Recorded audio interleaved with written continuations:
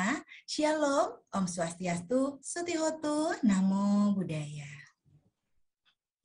Yang terhormat Bapak Ketua Sekolah Tinggi Agama Buddha Nalanda Dr. Mulyadi Eskom MM MBA, yang saya hormati Bapak Waka 1 Bidang Akademik, Bapak Dr. Sutrisno SIP MSI, yang saya hormati Bapak Wakatiga sekaligus Ketua Program Studi S1 Dharma Usada dan Continuing Medical Education Dr. Willy Japaris Mars PhD. Yang saya hormati Bapak Ibu dosen sekalian, Bapak Ibu tenaga kependidikan dan segenap sivitas akademika STAB Nalanda, dan yang saya banggakan Bapak Ibu peserta, mahasiswa, dan alumni S1 Dharma Usada yang telah berhadir pada hari ini. Puji Bersyukur kehadirat Tuhan Yang Maha Esa atas berkat rahmatnya lah hari ini kita dapat berkumpul dalam kegiatan yang sangat bermanfaat dengan keadaan sehat walafiat. Amin. Bapak Ibu sekalian, selamat datang dalam kuliah umum program studi S1 Dharma Usada dan Continuing Medical Education, Sekolah Tinggi Agama Buddha Nalanda dengan tema Etnomedicine dari Tanah Karo. Karena tak kenal maka tak sayang, maka Bapak Ibu sekalian izinkanlah saya untuk memperkenalkan diri. Saya Friska Desma Ayu Kusumawardani, Sarjana Terapan Kebidanan Magister Kesehatan, selaku Sekretaris Program Studi S1 Dharma Usada yang bertugas sebagai MC pada kegiatan kita hari ini. Baiklah Bapak Ibu sekalian, izinkanlah saya untuk membacakan rundown kegiatan kita pada hari ini. Yang pertama, pembukaan, dilanjutkan dengan doa pembuka, menyanyikan lagu Indonesia Raya dan Mars Nalanda, sambutan Ketua Ting Ketua STAB Nalanda, sambutan Waka 1 STAB Nalanda, sambutan Ketua Program Studi Dharma Usada dan Continuing Medical Education, pembacaan CV narasumber, pembahasan materi dari narasumber, tanya jawab dan diskusi, penyerahan sertifikat, foto bersama, doa penutup, dan penutup. Demi kelancaran kegiatan kita pada pagi hari ini, alangkah lebih baiknya Bapak Ibu sekalian jika kita memulai dengan membacakan doa terlebih dahulu. Doa akan dipimpin oleh Miss Meta. Kepada Miss Meta kami persilahkan.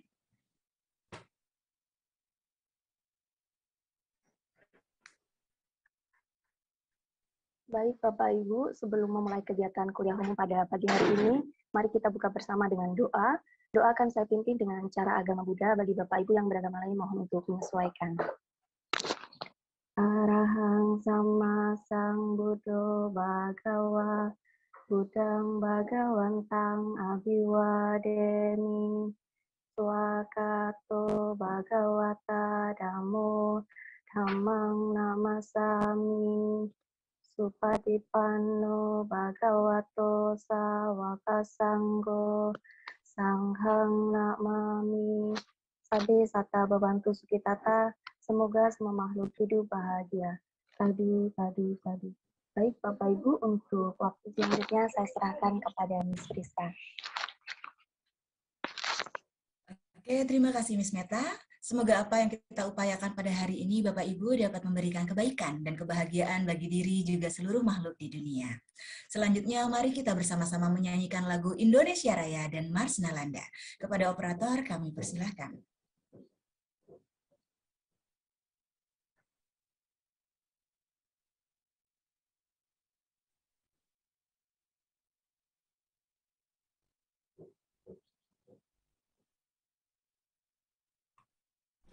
Recording in progress.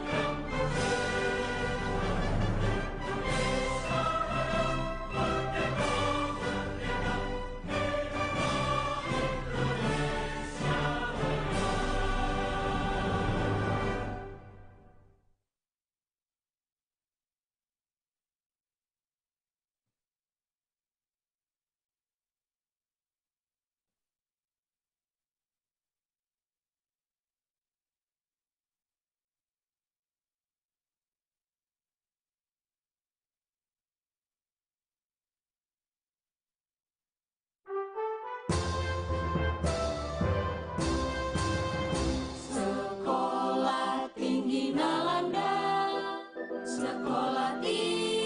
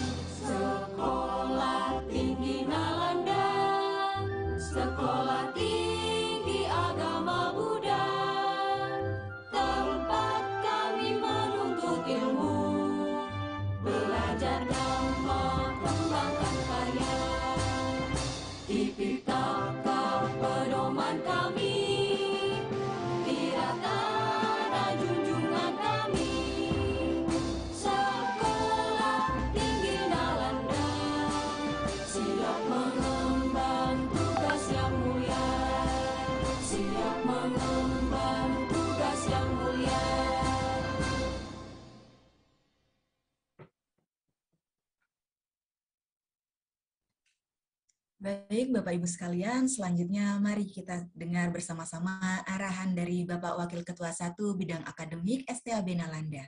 Kepada Bapak Dr. Sutrisno SIP MSI, kami persilahkan Pak.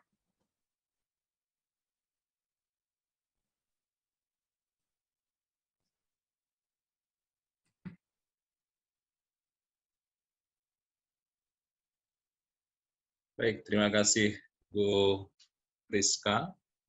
Selamat pagi, Assalamualaikum warahmatullahi wabarakatuh, Shalom, Om Swastiastu, Salam Kebajikan, Namo Buddhaya. Yang saya hormati Ketua Sekolah Tinggi Agama Buddha Nalanda, para sejawat Wakil Ketua, Ketua Program Studi, Sekretaris Program Studi Dharma Usada, yang hari ini menyelenggarakan kegiatan kuliah umum. Bapak Ibu dosen, rekan-rekan mahasiswa, dan seluruh tamu undangan yang hadir pada pagi hari ini. Saya kira pagi hari ini adalah satu momentum yang bagus, yang baik buat kita dalam rangka memasuki semester baru. Jadi kuliah umum ini merupakan satu budaya akademik di mana kita mempersiapkan diri terutama dalam rangka pembelajaran yang lebih sistematis dalam satu semester mendatang, atau disebut juga membangun suasana akademik yang sangat baik.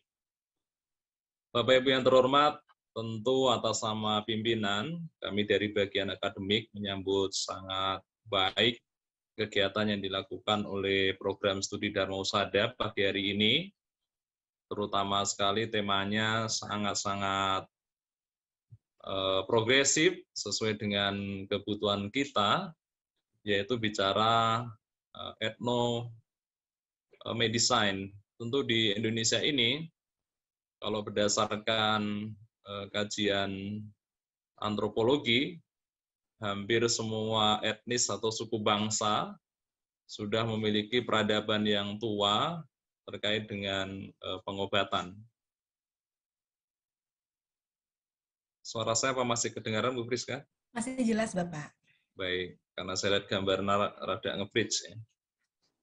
Nah, rekan-rekan, tentu ini menjadi satu potensi besar yang perlu digali. Kalau menurut uh, riset dari LIPI, di Indonesia ini ada banyak sekali tanaman obat bisa 30.000, 50.000 yang bisa dimanfaatkan. Tetapi sekarang ini yang teridentifikasi sekitar 7.500. Itu dari segi eh, tanaman. Tentu ada berbagai macam eh, metode pengobatan yang eh, sudah mengalami pemutahiran maupun yang sudah empirik maupun yang belum.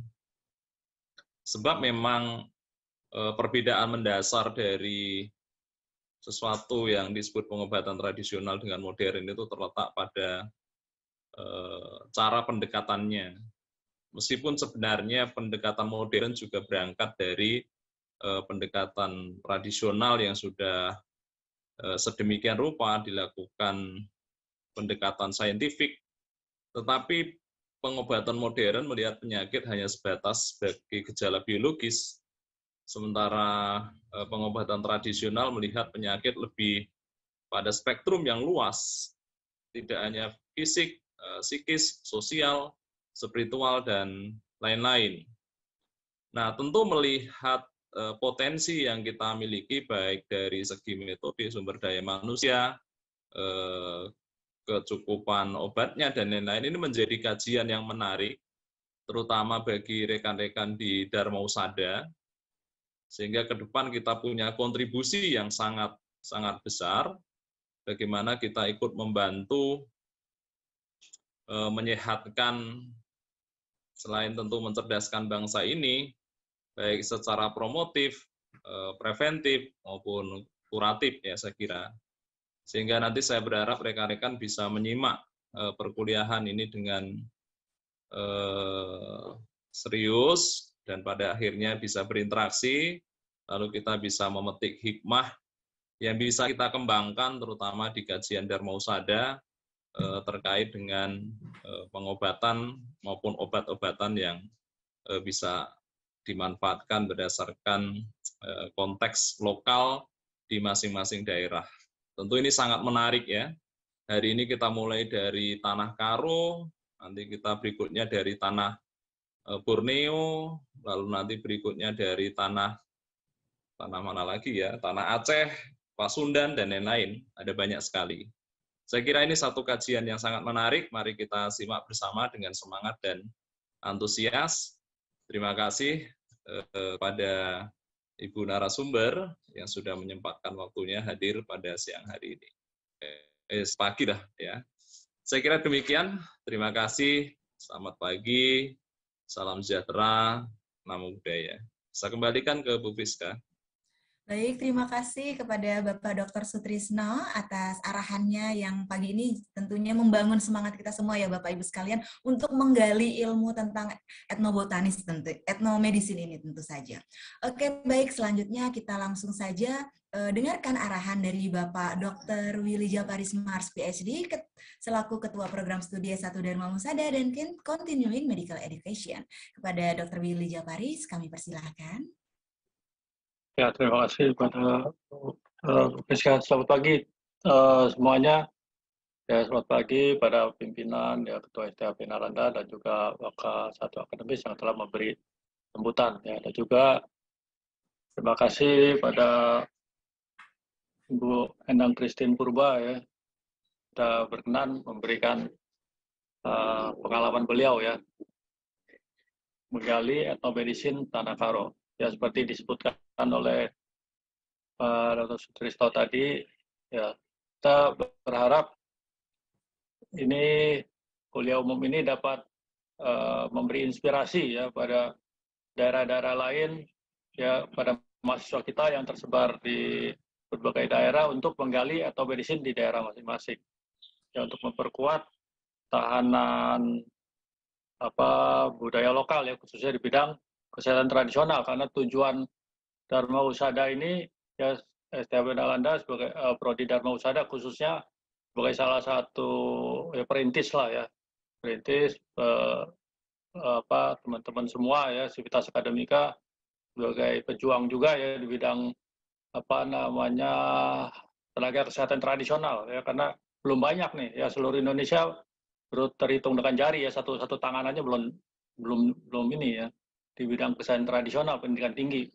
Jadi kita uh, memperjuangkan hal itu ya di, di untuk berkembang. Dan di kelas kelas Dharma Usada ini ada kelas reguler ya teman-teman kelas reguler ada kelas CME ya continuing medical education yaitu yang uh, setelah meraih sarjana ya. Mudah-mudahan tahun ini bisa menjadi prodi S2 Ya. Kemudian juga ada kelas lapas ya teman-teman kita ya di Awas Tangerang tadi ya juga mendapat kesempatan untuk ya kita juga ber apa namanya uh, ya bakti sosial lah untuk mencerdaskan bangsa kita ya dari segala lapisan. Ya saya kira tidak berpanjang lebar ya uh, silakan untuk memulai. Terima kasih atas dukungan teman-teman semua, termasuk teman-teman Sekprodi, Tendik, ya host semuanya. Ya selamat pagi.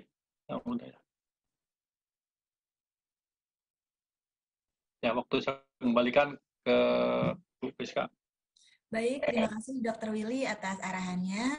Baiklah Bapak Ibu sekalian, telah sampailah kita pada acara inti yang telah ditunggu-tunggu tentu saja pada hari ini, yaitu sesi pemaparan materi oleh narasumber Pertama-tama saya perkenalkan terlebih dahulu moderator yang akan memandu jalannya diskusi kita pada hari ini. Beliau adalah Ibu Stella Maris Bakara, Sarjana Terapan Kebidanan Magister Kesehatan Masyarakat. Beliau adalah Sekretaris Program CME. Kepada Ibu Stella, waktu dan tempat saya persilahkan. Baik, terima kasih Ibu Friska. Apakah suara saya terdengar jelas, Bu? Terdengar jelas. Baik. Selamat pagi Bapak Ibu semua, para pimpinan dan juga Bapak Ibu mahasiswa dan juga teman-teman yang lain.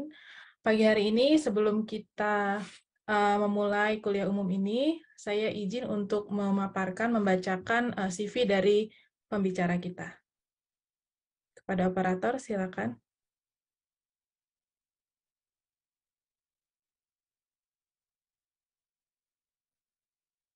Baik, Bapak Ibu, narasumber kita kali ini yaitu Ibu Endang Christine Purba. Beliau saat ini sedang di, berada di Taiwan.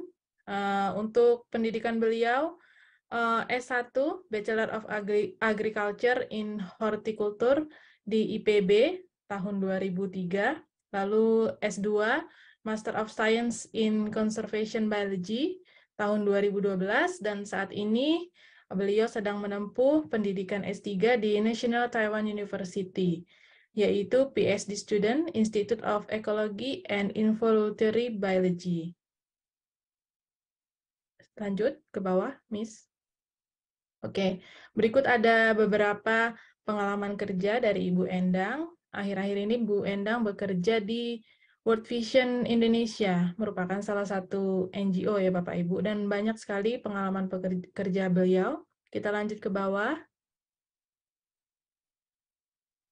Ya, berikut ini beberapa penelitian yang sudah dilakukan oleh Ibu Endang Bapak Ibu bisa lihat rata-rata tentang etnomedicine ya, ada gamal, ada gamal, ada bambu juga. Lalu bagian bawah, silakan ke bawah. Nah, ini ada publikasi Bapak Ibu, uh, Bapak Ibu nanti akan di-share juga di dalam chat uh, chat room. Ada tiga publikasi dari Ibu Endang yang akan kami share dan Bapak Ibu bisa baca. Uh, yang terbaru ini tentang ya ke atas sedikit, Miss. Yang terbaru tentang etnomedicine ya pastinya Bapak Ibu dari Tanah Karo. Sudah banyak sekali publikasi beliau. Ya, kita turun. Beliau juga pernah me, uh, diundang sebagai invited speaker di salah satunya di uh, eh, UI ya, di Departemen Biologi sebagai speaker of general lecture tentang etnokuliner of Batakaro. Lalu yang terbaru ini tahun 2019 sebagai speaker mengenai etnobotani of Batakaro di Institut Teknologi 10 November Surabaya. Oke, oke. Berikut juga ada beberapa hobi dan juga language yang dikuasai oleh Ibu Endang. Baik, terima kasih. Baiklah Bapak Ibu, eh, untuk mempersingkat waktu, saya persilakan kepada narasumber kita, kepada Ibu Endang Christine Purba, saya persilakan.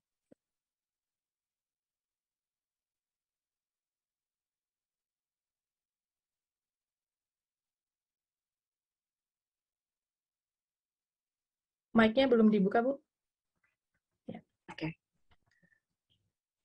Selamat siang, Bapak Ibu sekalian. Terima kasih uh, Ibu Stella untuk introduction-nya. Saya mengucapkan terima kasih kepada program studi Dharma Usada Sekolah Tinggi Agama Buddha Nalanda Jakarta yang bersedia, bukan bersedia, yang mengundang saya untuk berbagi beberapa pengalaman.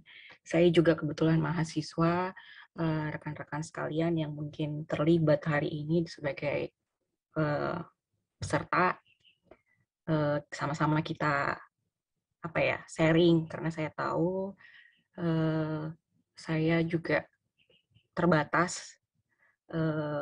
Kebetulan saya memang etnobotanis, jadi dari perspektif uh, budaya dan botani biologi. Mungkin Bapak Ibu sekalian lebih paham tentang uh, teknisnya ya, bagaimana cara pengobatannya. Nanti kebanyakan uh, topik yang nanti saya akan sharing adalah perspektif dari tekno dan medicine itu sendiri. Saya persilahkan uh, moderator untuk share beberapa informasi slide-nya. Ya, terima kasih.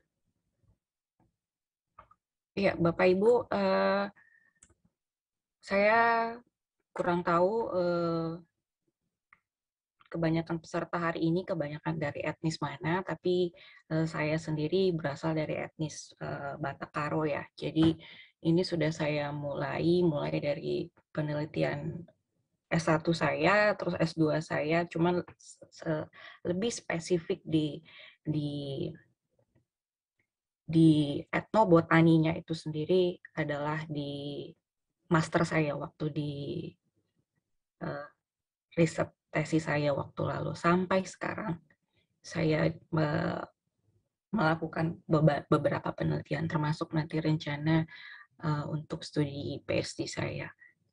Next, please. Ya, ini Bapak Ibu, uh, outline yang akan saya bagikan. Kita akan lihat bersama-sama, sharing bersama-sama, diskusi bersama-sama. Yang pertama, saya akan mencoba menceritakan tentang sejarah dan konsepnya ya dari mana sebenarnya awalnya etnomedicine itu sendiri, lalu bagaimana sebenarnya pendekatan dan metodenya agar lebih lebih clear ya perspektifnya dari mana yang bisa kita lihat. Lalu yang ketiga, saya akan membagikan beberapa pengalaman riset saya, eh, khususnya untuk uh, tumbuhan obat uh, di Batakaro. Next, please. Ya, saya kurang tahu Bapak Ibu background-nya apa, tapi yang saya yakini uh, Bapak Ibu sekalian paham tentang bagaimana uh, cara pengobatan. Karena sebenarnya teknisnya bukan ada di saya ya. Saya hanya melihat uh, koleksi beberapa tumbuhan yang memang mempunyai potensi. Jadi perspektifnya itu lebih kepada botaninya dan lebih kepada etnonya.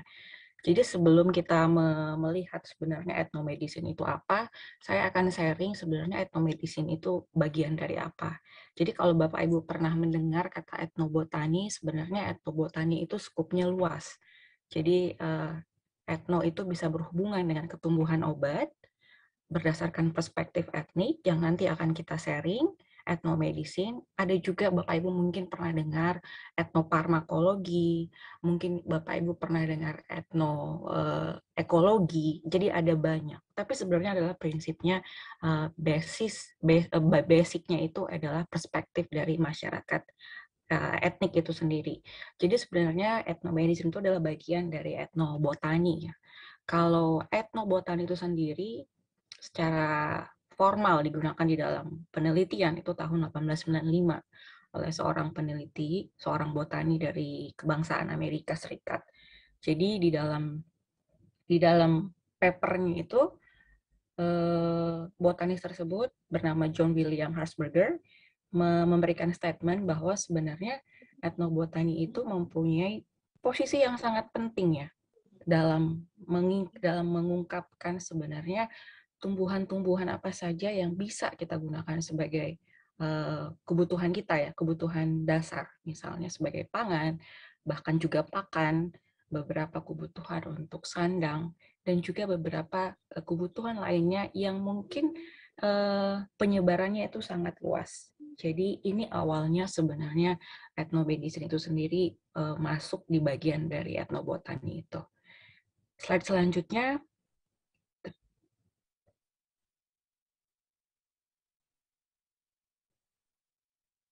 Ya, nah ini juga semakin lama semakin berkembang ya Bapak Ibu etnobotani itu. Jadi walaupun eh, yang digali adalah dari perspektif kultur, tapi sebenarnya kultur itu kan di eh, kalau kita perhatikan tidak tetap ya, dia berubah-berubah gitu. Walaupun beberapa beberapa eh, penelitian mengungkapkan budaya itu adalah tradition, traditional knowledge. Tapi sebenarnya yang kita lihat bukan letak di mana modern atau tradisionalnya, tapi sebenarnya budaya budaya budaya lokal. Makanya beberapa ahli etnobotanis lebih senang menggunakan uh, tradisional uh, tradisional uh, maaf lebih senang menggunakan istilah local knowledge daripada traditional knowledge.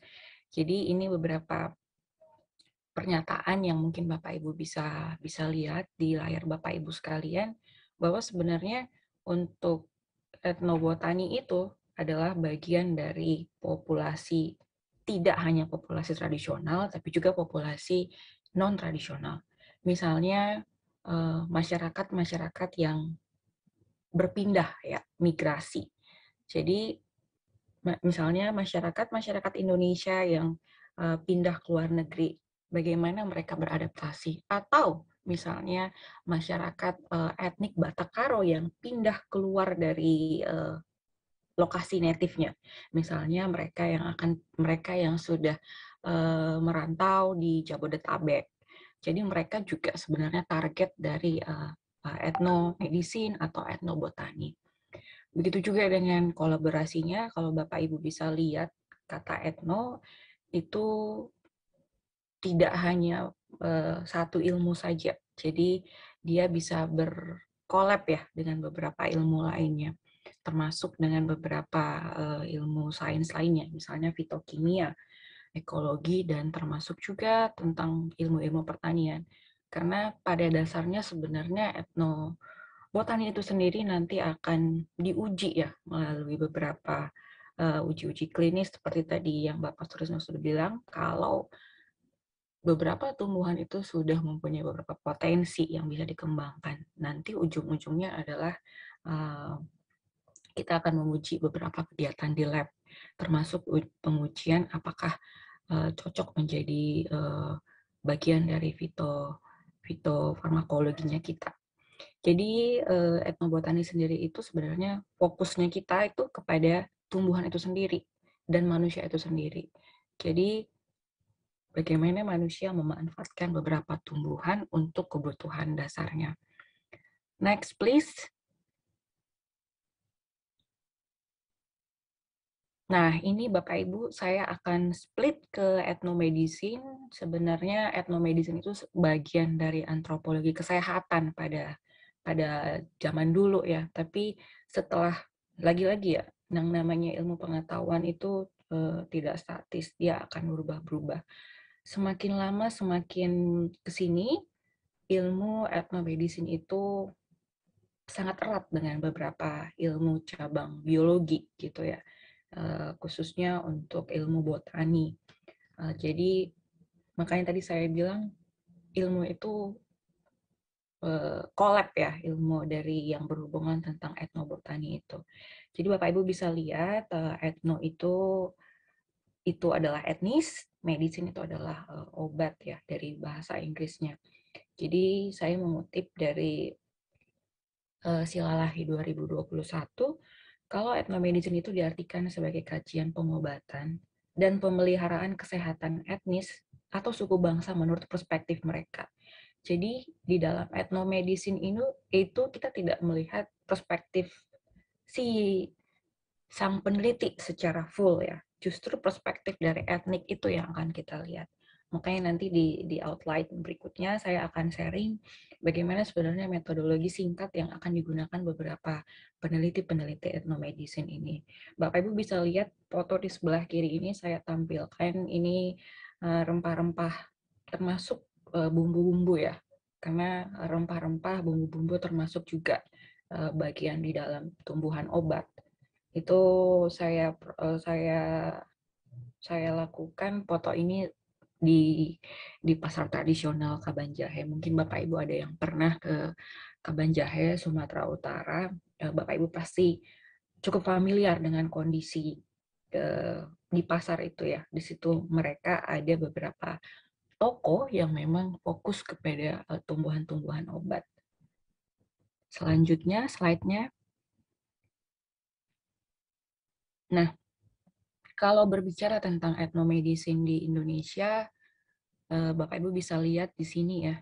Sebelumnya saya juga menampilkan beberapa catatan-catatan internasional ya arkeologi bahwa sebenarnya praktek dari etnomedicine dan juga termasuk pemanfaatan tumbuhan-tumbuhan itu sudah dimulai dari zaman before Christ eh, sebelum Masehi 2900 bahkan itu sudah terjadi di daerah Mesir kuno, lalu 60 ribu tahun yang lalu itu di Irak, dan 8, diperkirakan 8 ribu tahun yang lalu juga uh, di Cina yang dikenal dengan TCM, Traditional Chinese Medicine. Bapak Ibu mungkin ada beberapa familiar dengan dengan uh, tumbuhan-tumbuhan yang ada di dalam penelitian-penelitian yang sudah tercatat ya, misalnya kayak di Mesir, di Irak, dan di Cina. Dan termasuk juga di India ya. Ada beberapa arkeolog-arkeolog yang mencatat penelitian-penelitian tersebut. Kalau di Indonesia, saya mengambil contoh eh, penelitian terbaru dari senior saya dulu, eh, itu salah tahun 2020, itu eh, tentang pencatatan beberapa pemanfaatan tumbuh-tumbuhan ya yang tercatat di dalam relief Candi Borobudur. Uh, jika Bapak Ibu perhatikan uh, foto yang sebelah kiri itu saking besarnya ya Candi Borobudur itu itu terdapat beberapa relief-relief yang memang mempunyai catatan-catatan sendiri di dalamnya kalau kita lihat gitu apa-apa uh, saja yang mereka gunakan gitu tercatat saya mengutip di di relief Lalita Vistara uh, saking banyaknya relief-relief yang memang ada bisa kita jadikan sebagai objek penelitian itu uh, tim dari Metusala ini mengambil beberapa salah satu salah satu dari relief yaitu relief Lalita Vistara ini. Jadi yang saya saya perhatikan, yang saya baca dari papernya, tim ada banyak ya, tidak hanya para uh, ahli botanis, tapi termasuk juga ahli arkeologi gitu. Dan Bapak Ibu bisa lihat di gambar kedua, figur kedua, itu mereka melakukan beberapa apa ya dokumentasi untuk akan dilihat, dicek. Sebenarnya di dalam relief itu apa-apa saja tumbuhan-tumbuhan yang mereka gunakan. Lalu Bapak Ibu bisa lihat di gambar yang paling pojok sebelah kanan itu posisi C-nya ya. Lalita Vistara relief itu itu di di sebelah di sebelah situlah posisi uh, relief yang mereka teliti. Dan dari hasil penelitian itu uh, banyak tumbuhan-tumbuhan yang mereka sudah sudah apa ya sudah digambarkan di dalam candi Borobudur itu. Bapak Ibu bisa mungkin Bapak Ibu tidak terlalu familiar dengan beberapa famili.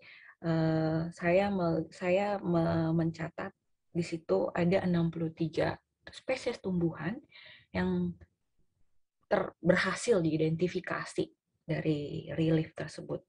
Dan dari 63 spesies tumbuhan itu uh, ada termasuk di dalam beberapa tumbuh, keluarga. Kita sebutnya family-family tumbuhan ya. Yang paling banyak itu Bapak Ibu bisa lihat yang grafik yang paling tinggi itu ada di uh, family Fabaceae. Jadi family Fabaceae ini sebenarnya family kalau Bapak Ibu uh, pernah dengar dia termasuk suku uh, keluarga polong-polongan ya. Jadi di dalamnya itu ada beberapa uh, kacang-kacangan termasuk juga uh, lantoro itu paling paling banyak tercatat di dalam relief ini. Lalu berikutnya itu ada family Moraceae. Kalau Bapak Ibu bisa lihat grafik kedua tertinggi itu ke family yang mungkin saya kurang tahu bahasa Indonesia-nya apa, tapi alpukat itu masuk di dalam uh, family ini. Saya memang tidak uh, tidak tidak kenal persisnya bahasa lokalnya dan dan dengan menggunakan bahasa saintifik ini akan memudahkan kita dalam mengecek ya kalau kita mau googling dengan kita memasukkan keywordnya ini eh, akan seragam ya. Karena kalau saya menuliskan nanti beberapa bahasa-bahasa lokal takutnya nanti ketika bapak ibu googling hasilnya akan berbeda gitu. Takutnya karena kayak karena berhubungan tentang etnik itu tadi ya. Misalnya uh, di, di di di misalnya satu tumbuhan ya satu tumbuhan misalnya di di bawang merah gitu ya. Etnik Batakaro menyebutnya uh, belum tentu bawang merah atau etnik lainnya. Makanya saya memberi keseragaman uh, saintifiknya yang saya cantumkan agar memudahkan kita. Jadi ini beberapa pencatatan-pencatatan yang mungkin sudah sudah banyak dipublish ya. Mungkin Bapak Ibu bisa explore nanti ke depannya jika tertarik untuk melihat tumbuhan-tumbuhan uh, obat mana yang memang akan bisa menjadi salah satu fokus. Kalau Bapak Ibu basicnya adalah uh, peneliti, mungkin Bapak Ibu bisa lihat dengan mudahnya tumbuhan-tumbuhan mana yang akan kita uji, baik itu uji klinis nantinya ataupun nanti uji di, di lapangan dalam hal ini di field research-nya Bapak Ibu. Uh, next please. Nah, Bapak Ibu, ini beberapa informasi yang mungkin Bapak Ibu bisa lihat ya. Eh, jadi kalau dilihat etnomedicine itu di Indonesia memang terkonsentrasinya itu paling banyak. Itu ada di eh, Pulau Jawa dan di Pulau Bali. Saya tadi dengar menyimak tadi Pak Sutisno menyampaikan bahwa nanti ke depannya akan ada kuliah umum yang akan membahas spesifik misalnya dari tadi uh, menyebutkan uh, Kalimantan, Papua, Sulawesi, saya saya sangat dukung jika itu bisa terlaksana karena memang khususnya di luar Jawa dan Bali ya, karena memang masih banyak yang harus kita uh, sharing bersama-sama.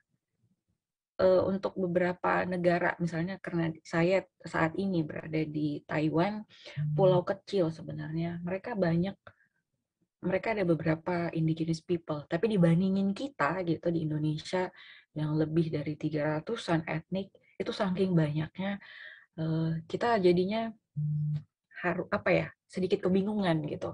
Uh, mana yang akan menjadi fokus. Nah, memang dari catatan uh, Bapak Waluyo, kebetulan Bapak Waluyo, Bapak Eko, Bapak Prof. Eko adalah senior etnobotanis kita yang ada di LIPI, eh, mencatat bahwa saat ini konsentrasinya masih ada di Pulau Jawa dan di Pulau Bali.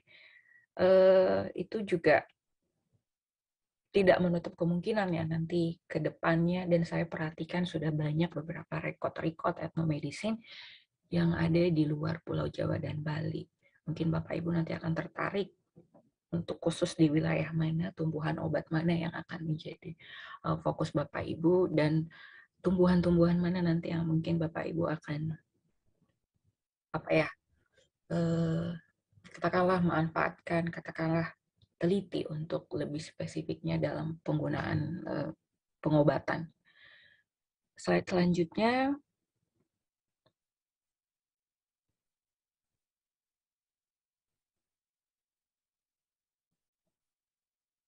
Nah, eh, ini Bapak Ibu, saya juga mau memperkenalkan sebenarnya etnomedicine itu sebagai dari cabang etnobotani itu seperti apa penelitiannya. Karena beberapa beberapa eh, kita gitu ya, beberapa yang ada di bukan di scope etnomedicine ini kadang-kadang bingung bagaimana kita melihat mengidentifikasi bagaimana kita mengsainskan beberapa pengetahuan-pengetahuan masyarakat lokal eh, yang memang sifatnya cenderung beberapa di di pandangan itu menyampaikan itu kan belum teruji ya gitu. Jadi kalau kita melihat dari perspektif uh, etnomedicine, kita harus melihat dari dua hal. Yang pertama adalah perspektif dari masyarakatnya itu sendiri, gitu, secara emik. Lalu uh, berikutnya adalah secara etik. Kita akan buktikan secara ilmiahnya. Jadi kita tidak bisa menyatakan bahwa oh perspektif dari masyarakat etnis A itu cukup keliru di dalam uh, penelitian etnomedicine kita tidak bisa melihat eh, kita tidak bisa menyatakan seperti itu. Karena memang prinsipnya etnomedicine adalah perspektif dari masyarakat itu sendiri gitu.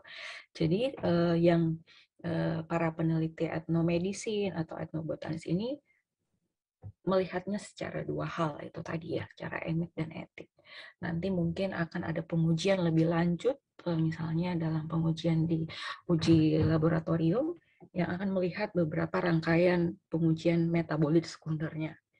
Nanti, tapi nanti itu mungkin uh, Bapak Ibu mungkin ada beberapa yang lebih paham uh, untuk uh, teknis ini. Jadi uh, ini beberapa hal yang mungkin harus sama-sama kita kita lihat bersama ya. Jadi ada dua hal, emik dan etiknya. Selanjutnya, dan untuk metode secara umum ini Bapak Ibu bisa lihat ketika seorang uh, peneliti etnomedicine, etnobotanis itu melakukan uh, penggalian ya beberapa ilmu-ilmu tadi itu pengetahuan uh, lokal mereka kita harus membangun relasi gitu. Jadi ketika kita berada di tengah-tengah kelompok etnis, kita diharapkan bagaimana kita mengengage, mengengage ya membentuk hubungan yang baik dengan masyarakat itu sendiri gitu. Jadi di dalamnya kita harus melihat beberapa narasumber karena narasumber ini juga salah satu metodologi yang sangat penting ketika kita ingin menganalisa untuk beberapa pengetahuan tumbuhan obat tersebut. Eh, narasumber tersebut harus mengenal, harus memahami, dan harus menggunakan uh, tumbuhan tersebut. Jadi tidak cukup hanya, oh saya tahu tumbuhan itu, oh saya uh, pernah lihat tumbuhan itu, tapi mereka tidak pernah menggunakan. Nah ini yang harus kita uh, gali, ini yang harus kita lihat. Dan ini yang harus kita seleksi lagi siapa sebenarnya yang akan menjadi uh, narasumber kita itu sendiri. Lalu berikutnya adalah uh, setelah itu kita menggali sebenarnya bagaimana hubungan-hubungan mereka dengan lingkungan mereka termasuk tumbuhannya. Jadi di dalam ethnomedicine itu sendiri kita biasanya menggali dengan beberapa cara, itu wawancara, observasi, dan kita juga melis beberapa tumbuhan-tumbuhan uh, untuk di dimasukkan dalam beberapa kategori ya. Apakah tumbuhan tersebut masuk di dalam pengobatan uh, satu penyakit, apakah dia adalah uh, tumbuhan tunggal yang dimanfaatkan sebagai penyembuh, atau bisa jadi dia adalah tumbuhan yang dimanfaatkan untuk pemulihan atau mungkin untuk health maintenance ya, apa namanya, menjaga kesehatan gitu. Jadi itu nanti akan kita list biasanya di dalam penelitian itu. Lalu kita juga akan bersifat partisipasi dan kita akur kita harus melakukan triangulasi untuk beberapa data. Bapak Ibu bisa lihat di saya menampilkan beberapa empat foto ya. Yang foto yang paling atas itu adalah proses wawancara. Saya melakukan itu bersama uh, rekan saya uh, anak mahasiswa S1 waktu itu uh, dua di sebelah kiri itu adalah narasumber saya pada saat itu. Mereka adalah pengobat tradisional. Kalau bahasa lokalnya mungkin kita dukun ya kita bilang. E, mereka memahami tumbuhan-tumbuhan mana saja yang mereka gunakan dalam kehidupan sehari-hari mereka. Lalu gambar sebelah kanan yang kedua itu e, observasi. Jadi e, saya dan tim saya melakukan kegiatan observasi melihat apa yang mereka lakukan di dalam kegiatan mereka sehari-hari. Uh, kalau foto yang saya tampilkan itu di di lahan pertanian ya. Karena di lahan pertanian juga mereka berinteraksi dengan tumbuhan-tumbuhan. Tidak hanya dengan tumbuhan untuk pangan, termasuk juga untuk tumbuhan uh, tumbuhan obat.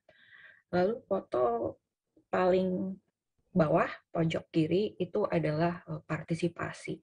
Jadi kita waktu itu melakukan semacam FGD dan kita meminta tolong masyarakat untuk mengelompokkan uh, tumbuhan-tumbuhan mana yang menurut mereka menjadi prioritas.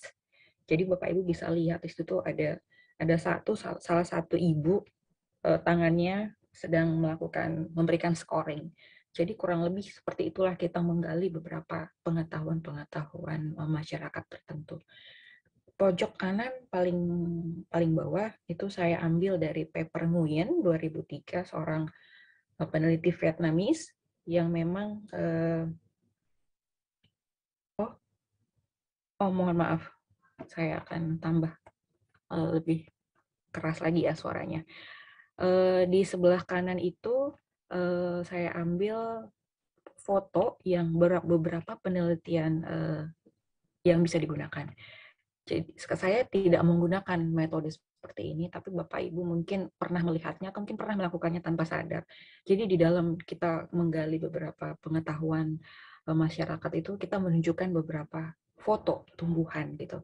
Apakah Bapak Ibu mengenal tumbuhan ini gitu? Apakah Bapak pernah melihat tumbuhan ini? Apakah Bapak Ibu pernah memanfaatkan tumbuhan ini?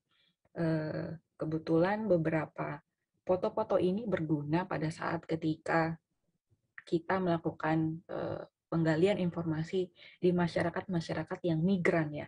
Misalnya eh, saya di sini kebetulan banyak etnis masyarakat Jawa dan mereka pada saat kita memperkenalkan beberapa tumbuhan-tumbuhan itu mungkin mereka tidak familiar lagi Mungkin ada beberapa sudah generasi-generasi yang generasi ketiga yang sudah lahir gitu ya.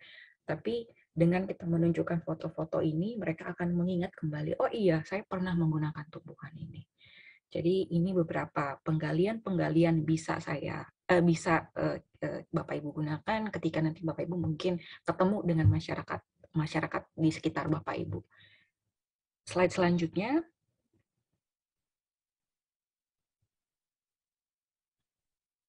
Uh, di slide ini saya akan masuk ke etnomedicine Batakaro itu sendiri. Uh, sebelumnya saya memperkenalkan dulu Bapak Ibu Batakaro itu siapa dan di mana? Gitu mungkin bapak ibu sudah pernah mendengar mungkin atau punya punya kerabat punya kolega yang berasal dari etnis ini.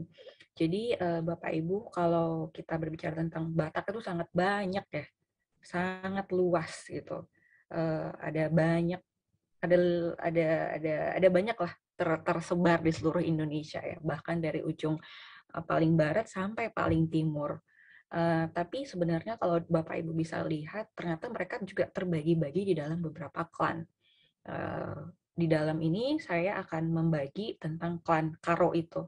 Bapak Ibu mungkin pernah mendengar uh, beberapa marga, uh, lima besar marga besar gitu ya di dalam uh, Batak Karo itu.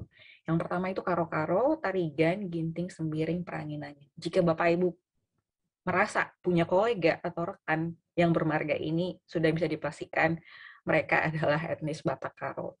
Dan Bapak Ibu bisa lihat uh, sebelah sebelah kiri itu adalah uh, pakaian adatnya mereka, pakaian adat Batak Karo.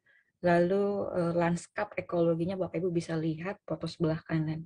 Ini saya ambil ketika saya melakukan riset 2016 lalu di Gunung Sebayak. Mungkin Bapak Ibu pernah pernah berkunjung ke Sumatera Utara bagian Kabupaten Karo. Di sini ada banyak banyak apa ya eksplorasi alam yang mungkin Bapak Ibu bisa lihat. Yang mungkin yang senang hiking, mungkin senang dengan uh, hot spring, uh, mereka banyak menawarkan beberapa ekoturism ya. Uh, saya melakukan penelitian di sini juga untuk masyarakat Karo itu sendiri, Gunung Sibayak. Ada ada juga yang gunung-gunung uh, Sinabung mungkin Ibu pernah mendengarnya tapi saya tidak mempunyai fotonya karena waktu saya datang lagi lagi masa-masa erupsinya. Jadi ada beberapa wilayah yang mungkin tidak bisa saya datangi pada saat penelitian itu. Uh, slide selanjutnya. Nah ini uh, beberapa beberapa metode yang saya gunakan kalau yang tadi secara general ya Bapak Ibu, uh, slide yang sebelumnya uh, tentang metode bagaimana seorang peneliti etnomedicine itu melakukan risetnya. Kalau ini saya share pengalaman-pengalaman yang pernah saya dan tim saya lakukan. Yang pertama itu adalah wawancara, lagi-lagi observasi, itu pekarangan, hutan, dan lahan pertanian, dan survei pasar dan herbarium. Kalau wawancara itu foto ketiga paling bawah saya tampilkan itu itu juga sama itu proses wawancaranya kita menggali beberapa uh, pemanfaatan tumbuhan-tumbuhan obat ya. Lagi-lagi pada umumnya kita akan mewawancarai beberapa uh, pengobat tradisional atau dukun tradisional yang memang paham uh, tahu bahkan juga uh, menggunakan dan meracik ya beberapa tumbuhan-tumbuhan. Lalu foto yang sebelah kiri paling paling kiri itu observasi pekarangan. Kenapa kita melakukan di pekarangan juga? Karena uh, pekarangan itu juga termasuk beberapa sumber pemanfaatan tumbuhan-tumbuhan yang digunakan oleh masyarakat etnis Batak Karo itu sendiri. Jadi uh, mereka tidak hanya mengambil tumbuhan-tumbuhan obat dari pekarangan, mereka juga menggunakannya itu uh, bahkan membudidaya beberapa di lahan pekarangan di, di lahan pertanian mereka ya. Bapak Ibu sebagai sumber informasi masyarakat Batakaro eh, kebanyakan untuk di daerah dataran tinggi adalah mata pencahariannya petani. Jadi memang jadi jadi cukup dingin juga. Kalau menurut saya saya cukup dingin ya karena saya sebenarnya bukan bukan orang yang tahan di suhu-suhu yang rendah. Jadi eh, mereka selain di pekarangan kegiatan sosialnya juga ada di lahan pertanian karena memang mayoritas mereka adalah bertani ya untuk mata pencahariannya. Lalu juga termasuk di wilayah hutan. Kalau Bapak Ibu tadi sempat lihat di, di, di slide berikutnya di Gunung Sibayak, itu mereka juga memahami dan me, apa ya mengambil beberapa tumbuhan-tumbuhan liar yang ada di uh, hutan ya bahkan juga beberapa yang berbatasan dengan taman-taman nasional seperti kalau misalnya di uh, di Gunung Sibayak itu ada tahura juga dan mereka beberapa beberapa dukun ini juga mengambil beberapa tumbuhan liar yang memang hanya bisa diambil di dalam hutan. Karena beberapa tumbuhan tidak bisa kita kultivasi ya, maksudnya tidak bisa kita domestikasi, kita tidak bisa kita mudah, tidak bisa mudah, tidak bisa dengan mudah kita kita budidaya, misalnya kayak tanaman-tanaman eh, beberapa pohon besar gitu, itu justru beberapa khasiatnya justru ketika kita mengambilnya dari uh, liar itu jauh lebih lebih lebih bermanfaat karena metabolit sekundernya masih masih apa ya kalau kalau dibilang bahasa awalnya masih lebih murni ya gitu. Dan foto yang di sebelah kanan atas itu itu survei pasar. Saya dan tim juga melakukan beberapa uh, survei melis ya beberapa tumbuhan-tumbuhan yang mereka yang Batak Karo gunakan untuk uh, keseharian mereka. Nah, termasuk di survei pasar tadi yang saya sudah tampilkan di slide sebelumnya di pasar tradisional Kaban Jahe, kalau Bapak Ibu pernah lihat juga main ke beras tadi juga ada di situ dan mungkin Bapak kalau Bapak Ibu kalau pernah main ke Medan yang paling bawahnya itu uh, pasar tradisional lupa namanya itu pasar tradisional uh, Pancur Batu. Jadi itu lumayan uh, dekat ya uh, di ibu kotanya kota Medan. Dan itu kalau Bapak Ibu pernah membeli beberapa uh, ramuan, tumbuhan obat itu memang bisa saya bilang tuh sentranya ada di situ gitu. Jadi memang metode etnomedicine ini sangat menarik tidak hanya uh, dari alamnya tapi kita juga dari orangnya itu ya. Karena sebenarnya ketika ketika kita sudah berbicara dengan dengan penjual tanaman-tanaman obat itu mereka sebenarnya kalau di di di di, disamakan dengan eh, penelitian-penelitian uh, katakanlah biologi sebenarnya mereka adalah uh, taksonomi lokal karena mereka mempunyai istilah-istilah tersendiri gitu. Yang ini untuk tanaman tanaman ini yang bunga-bunga seperti ini untuk demam. Uh, warna yang ini, rasa yang ini cocok untuk uh, flu gitu. Jadi mereka sebenarnya mempunyai pengetahuan lokal yang memang belum tentu kita yang dari luar itu bisa memahami gitu. Jadi sebenarnya mereka juga sebenarnya kalau saya bilang adalah taksonomi taksonomi lokal yang memang memahami versi lokalnya. Lalu herbarium, nah herbarium Bapak Ibu eh, setiap kita sudah mengenal tumbuhan, kita mengambil tumbuhan, kita membawanya ya. Kita mengambil dari misalnya dari pekarangan ini, saya mengambil beberapa tumbuhan, lalu saya keringkan, selalu selalu eh, kita analisa sebenarnya dia tumbuhan apa. Nah, dari situ kita bisa menggali saintifiknya seperti apa. Untuk untuk uh, ke tahap selanjutnya itu biasanya akan ada beberapa peneliti-peneliti lainnya. Di situlah nanti para peneliti ini akan melihat sebenarnya kandungan metabolit sekundernya itu apa yang ada di dalam tumbuhan itu. Jadi setelah diidentifikasi dia tumbuhan apa, kita bisa melihat kandungan-kandungannya itu apa. Karena biasanya masyarakat akan menyebut, oh ini namanya, uh, uh, saya akan kasih contoh, misalnya ini namanya uh, bawang merah gitu. Nah, kalau di di kita di di Indonesia sendiri bawang merah itu kan yang sering kita lihat di dapur itu ada umum ya ada banyak uh, lapis lap, uh, apa namanya uh, umbi-umbinya gitu ya.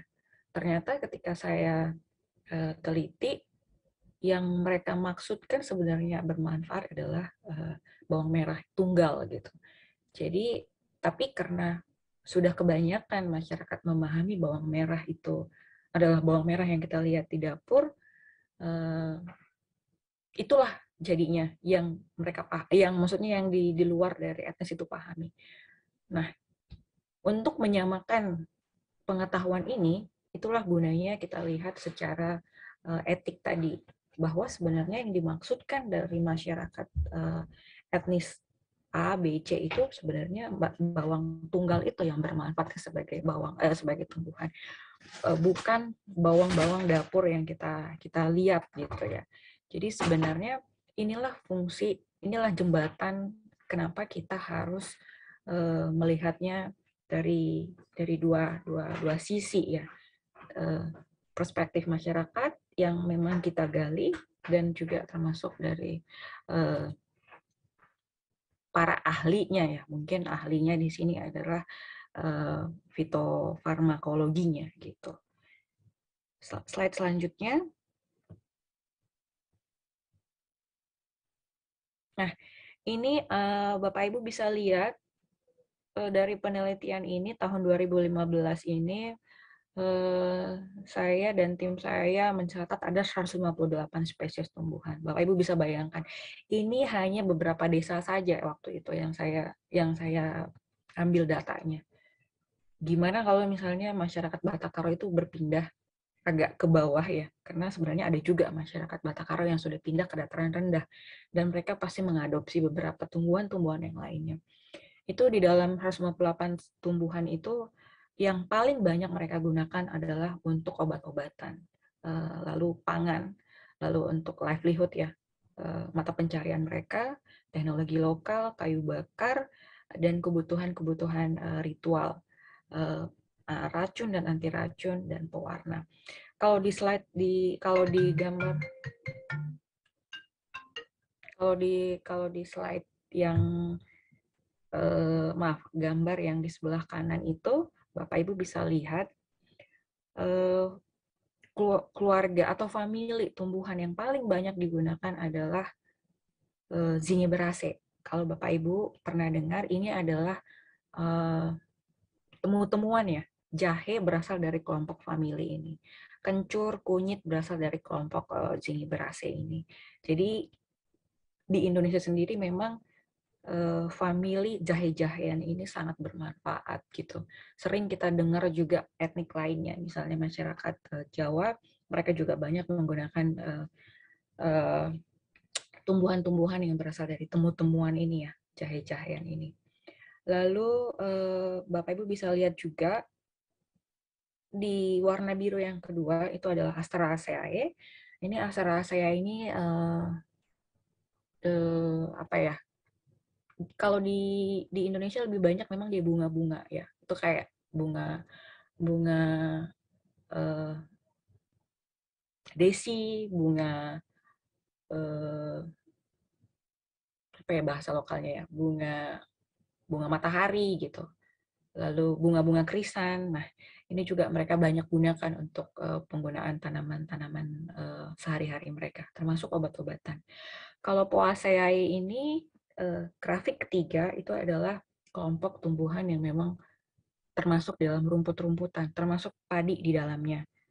Nanti uh, Bapak Ibu bisa bisa cek lagi kembali di mungkin googling gitu ya. Termasuk di dalamnya itu rumput-rumputan itu banyak digunakan di dalam uh, kehidupan mereka. Lalu Arekaceae ini garis berikutnya itu adalah suku apa ya uh, kelompok tumbuhan pinang itu juga masuk di dalamnya palem-paleman ya karena masyarakat uh, Batakaro ada satu tumbuhan uh, yang memang sangat sangat penting ya tidak hanya dalam kebutuhan pangan obat-obatan tapi termasuk juga uh, bagian dari kulturnya. Itu uh, apa ya bahasa lokalnya? Uh, mereka menyebutnya Paula itu palem. Mohon maaf saya, saya agak lupa itu bahasa lokal bahasa lokalnya apa kita menyebutnya apa itu apa yang yang menghasilkan kolang kaling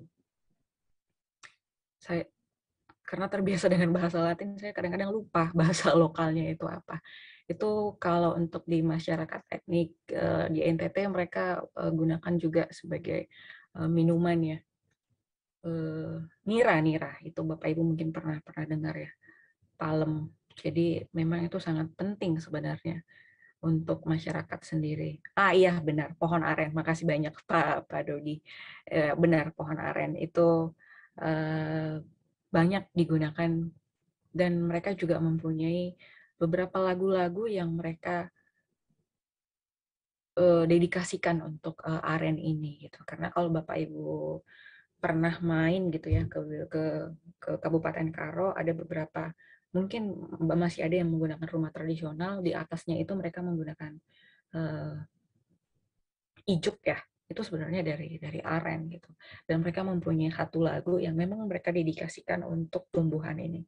Karena sebelumnya masyarakat Batakaro sebelum mengenal um, agama agama Abraham gitu ya mereka menganut paham uh, animisme yang memang memperkuat hubungan mereka dengan dengan dengan alam dengan beberapa tumbuhan. Namanya itu aliran pemena. Tapi memang sudah tidak banyak lagi yang me, me, me, uh, mem, memiliki aliran kepercayaan ini. Slide selanjutnya uh, ini untuk secara spesifik untuk tumbuhan obatnya Bapak Ibu nanti bisa bisa googling ya untuk melihat. Saya juga udah membagikannya kepada Ibu Stella beberapa paper yang mungkin Bapak Ibu bisa cek. Karena di dalam paper ini di tahun 2016 publikasi tahun 2016 ini situ ada banyak saya list beberapa tumbuhan-tumbuhan yang memang digunakan. Tidak hanya uh, waktu itu karena ini belum COVID waktu itu, jadi tidak ada waktu itu saya menyebutkan COVID. Jadi di sini uh, waktu di paper itu saya menyebutkan beberapa tumbuhan-tumbuhan yang memang uh, sering digunakan, termasuk tanaman tanah, mm, termasuk tumbuhan yang digunakan untuk cancer, uh, darah darah tinggi, diabetes gitu. Tapi saya tidak mencantumkannya di sini karena ada banyak sekali listnya. Tapi saya akan membuatnya hanya beberapa yang memang sangat penting bagi masyarakat Batakar itu sendiri tercatat dari 158 itu saya split lagi nih tumbuhan-tumbuhan mana yang memang mereka gunakan untuk tanaman obat. Ada 124 spesies Bapak Ibu dan itu mungkin kalau Bapak Ibu nanti ada yang berminat untuk melakukan seperti ini akan lebih lagi sebenarnya. Karena di dalam eh, riset itu pasti ada keterbatasan ya, termasuk keterbatasan waktu dan sumber daya manusianya ya. Jadi di dalam 1, 2, 4 spesies tumbuhan itu 71 persennya adalah liar. Jadi saya waktu itu melakukannya itu uh, saya eksplor dibantu oleh beberapa narasumber saya yang sangat saya apresiasi untuk menyelesaikan eh, riset itu. Eh, kita keluar masuk hutan untuk melihat tumbuhan-tumbuhan mana yang mereka gunakan.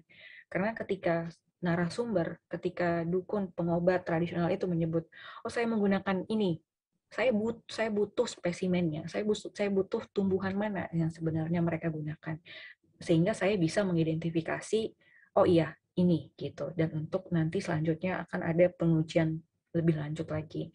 Dan lagi-lagi tumbuhan obat yang paling banyak digunakan Batakaro adalah uh, zingiberacea tadi ya uh, temu-temuan tadi. Itu sangat banyak. Bapak Ibu bisa lihat di grafik yang paling bawah itu ada 15 uh, 15 uh, jenis tumbuhan Lalu dari banyak tumbuhan itu yang paling banyak digunakan uh, adalah untuk mengobati demam dan uh, health maintenance ya.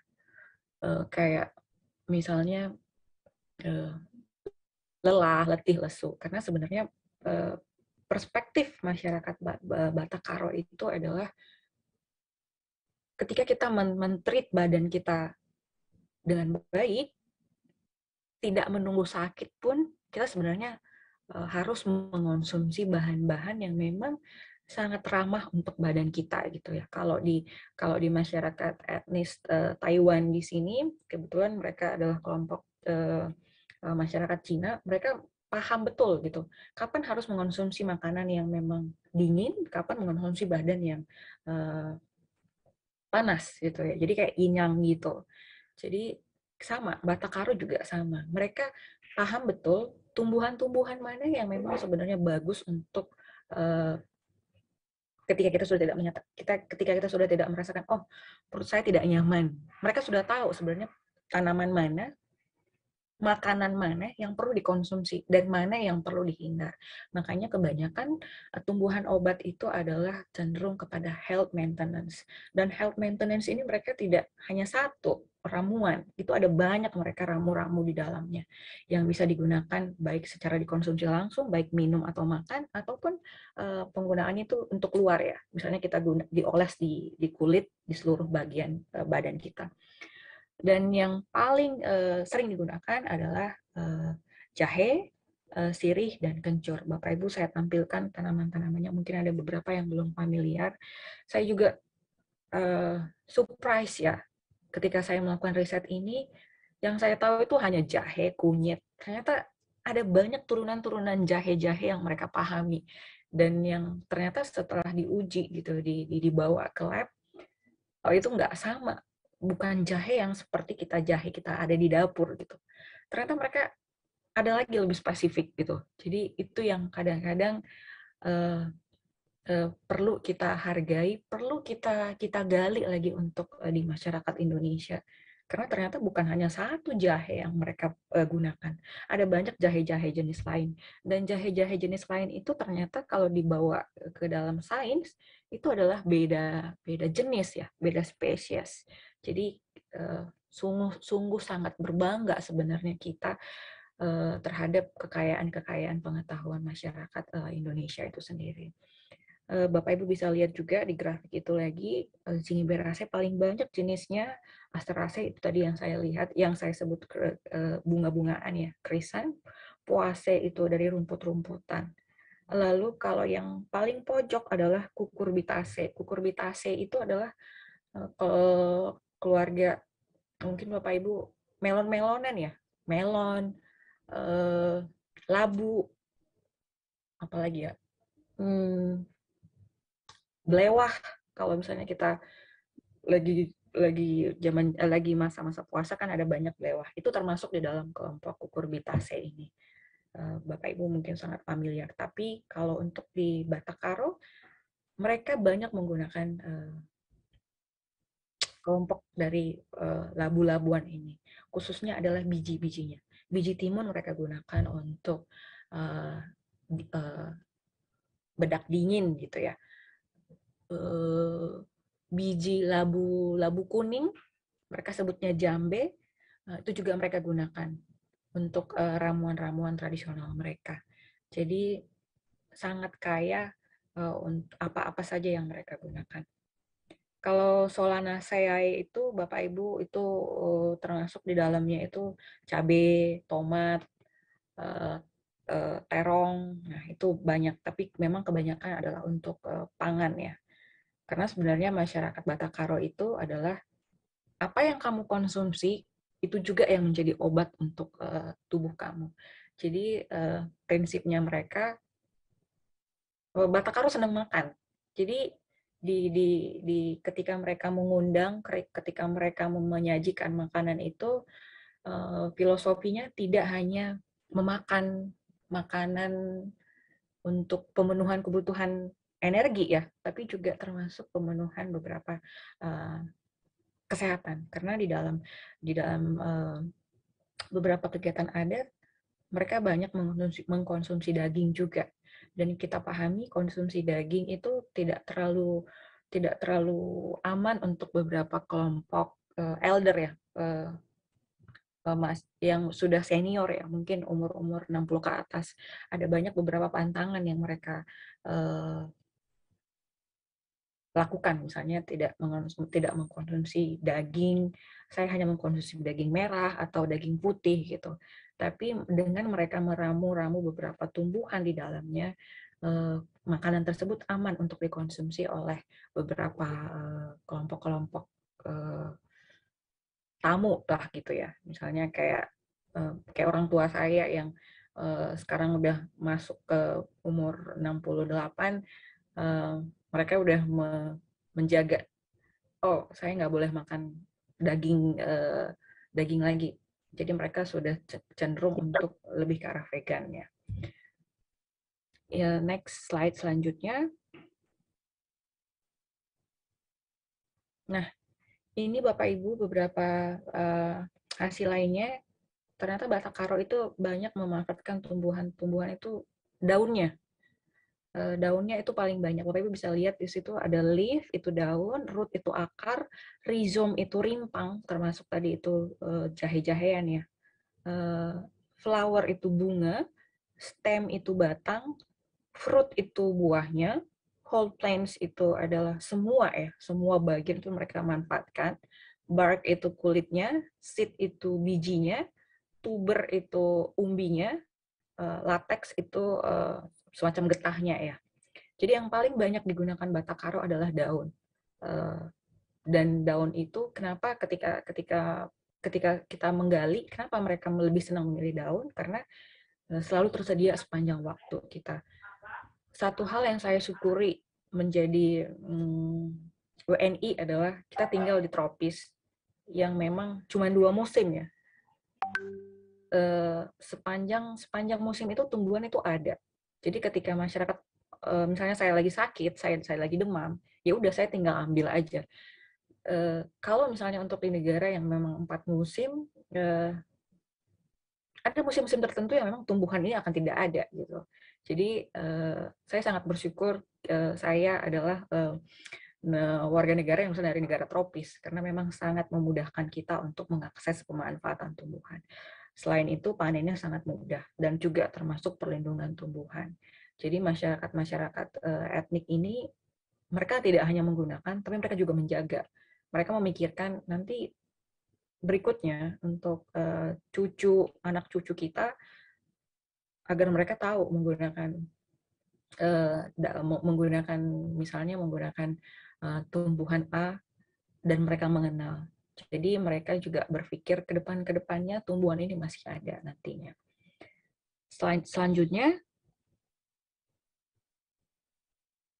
Nah, lagi-lagi Bapak Ibu seperti yang saya sudah sebutkan, kalau di Batakaro itu kebanyakan adalah membicarakan tentang tumbuhan obat untuk uh, health maintenance ya, baik itu before, uh, maksudnya maksudnya sebelum untuk sakit atau pasca pemulihan ya, uh, pasca sakit pemulihan. Jadi nanti Bapak Ibu bisa lihat secara detail di paper itu tumbuhan-tumbuhan mana yang bisa digunakan untuk spesifik penyakit. Saya akan saya hanya mengambil beberapa ramuan tradisional yang uh, bisa kita lihat sama-sama. Kalau kalau jamu itu memang sudah terkenal ya dan masuk di dalam uh, kelompok ramuan penguji uh, di dalam uh, badan POM kita juga. Dan saya yakin etnik-etnik lainnya juga mempunyai ramuan-ramuan tradisional. Kalau di Batakaro itu yang saya saya catat di sini dari hasil penelitian itu ada empat ya. Itu adalah minak, itu mereka sebutnya minak, itu sebenarnya minyak ya. Bapak Ibu mungkin pernah mendengar uh, uh, minyak urut, Uh, kalau bapak bapak ibu pernah mendengar uh, untuk di Sumatera Utara atau di Jabodetabek juga saya saya pernah dengar itu uh, minyak kem-kem gitu ya. Nah itu juga sangat terkenal uh, untuk uh, khasiatnya ya. Saya saya sebenarnya tidak tidak suka aroma minyak ini ya karena terlalu terlalu strong tapi ketika ketika saya gunakan bahkan sekarang saya saya bawa ini ke ke Taipei karena saya tahu eh, sangat sangat berhasiat.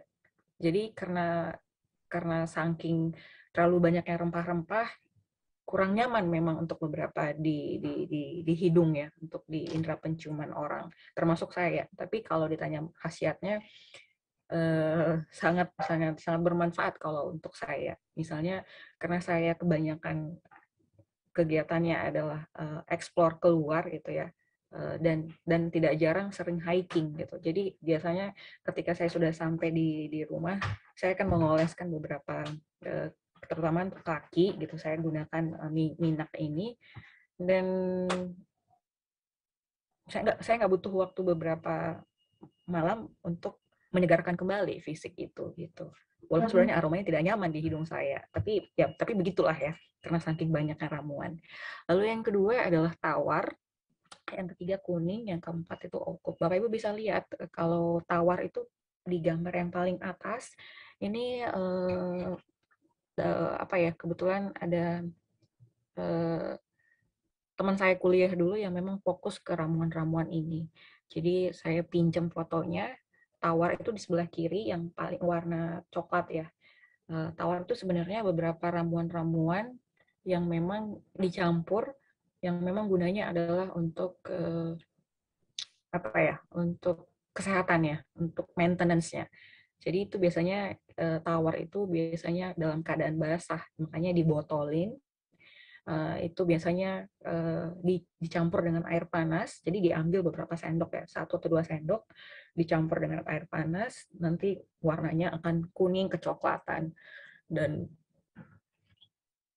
dan ketika saya saya coba hangat juga di tenggorokan, jadi memang sangat cocok. Kebetulan uh, tanah karo ini kan ada di dataran tinggi, suhu rendah. Walaupun nggak minus ya, tapi cukup membuat kedinginan juga. Jadi sangat cocok sebenarnya. Jadi kalau misalnya kita ada ada demam, ada masuk angin, itu mereka sering menggunakan ini. Lalu yang di sebelah kanan dua botol yang kanan itu adalah minyak. Itu minyak itu tadi yang minyak saya maksudkan itu mereka uh, gunakan juga ketika mereka uh, patah tulang, uh, keseleo, mereka gunakan minyak itu. Dan bahkan uh, saya perhatikan beberapa apa ya anak-anak balita under two atau under five gitu mereka dioles itu badannya karena menghangatkan mereka ketika mereka udah selesai mandi atau badannya kayak rada nggak enak gitu ya mereka diolesin minyak ini biasanya uh, lalu gambar yang uh, paling bawah itu kuning itu saya ambil dari paper uh, Silalahi 2019. Kebetulan Silalahi ini juga adalah co-promotor saya dulu waktu menyelesaikan studi saya. Ini kuning, dia sudah dikeringkan. Itu juga ramuan-ramuan yang banyak tumbuhan-tumbuhan yang mereka gunakan. Bapak Ibu kalau misalnya main ke pasar tradisional yang tadi saya sudah sebutkan, mereka banyak menjual ini ke anak-anak, ke orang dewasa, termasuk ke eh, kakek nenek yang yang memang sudah senior gitu ya, eh, umurnya sangat aman untuk digunakan. Dan ini memang penggunaannya aplikasinya adalah luar ya di, di di kulit gitu. Jadi bukan untuk di, dimakan. Kalau untuk yang dimakan yang tawar itu tadi makan atau minum. Lalu yang keempat adalah okup. Uh, Batakaro menyebutnya okup. Uh, itu sebenarnya sauna tradisional. Uh, mungkin ada beberapa etnik lain yang mungkin Bapak Ibu pernah lihat ya. Di situ kalau ilustrasi gambarnya saya buat karena saya dan tim saya tidak mempunyai foto waktu itu untuk okup ini. Jadi kita buat ilustrasi dan kita publish di paper yang Ibu Silalahit tahun 2021 ini. Jadi kurang lebih adalah uh, orang yang mau dilakukan sauna itu yang mengalami pemulihan itu uh, ada di, di satu kita kita kita kasih bangku, kita kasih duduk, terus kita bungkus dengan uh, mungkin selimut ya kalau di kalau di tanah karo mereka biasanya gunakan selimut yang tebal karena saking dinginnya suhu suhu karo itu. Jadi selimut itu mereka tebal-tebal. Jadi mereka bungkus ruangan itu atau mereka tutup dengan uh, tiker ya tiker yang dari palem-palem itu yang mungkin bapak ibu pernah lihat yang dari serat pandan itu mereka itu mereka bungkus mereka bentuk kayak satu mini mini mini room, maksudnya ruangan kecil gitu. Mereka mereka bungkus uh, orang yang akan diberikan sauna itu. Tapi di dalamnya itu ada, kalau Pak Ibu lihat itu ada ada gambar kayak uh, kayak apa ya? ember kecil gitu ya. Nah, ember kecil inilah yang nanti diisinya diisi ramuan. Tapi memang tidak tidak tidak lama ya, karena memang sebenarnya nggak nggak bagus juga kalau kelamaan. Jadi uh, biasanya uh, kedap kedap udara. Jadi di situlah nanti akan aroma-aroma uh, ramuan-ramuan tradisional itu akan diserap oleh uh, badan kita. Jadi uh, biasanya itu uh, keluar dari keluar dari ruangan kecil ini yang yang yang kita uh, gunakan ini nanti uh, badan kita tuh akan basah, keringetan dan akan merah-merah gitu tapi kata mereka yang sudah melakukan yang, yang melakukan ini seger gitu. Kebetulan saya juga belum pernah, tapi saya pengen merasakan ini sebenarnya.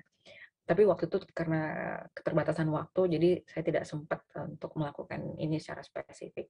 Jadi biasanya untuk okup ini uh, digunakan uh, oleh uh, wanita yang baru saja melahirkan, jadi postpartum.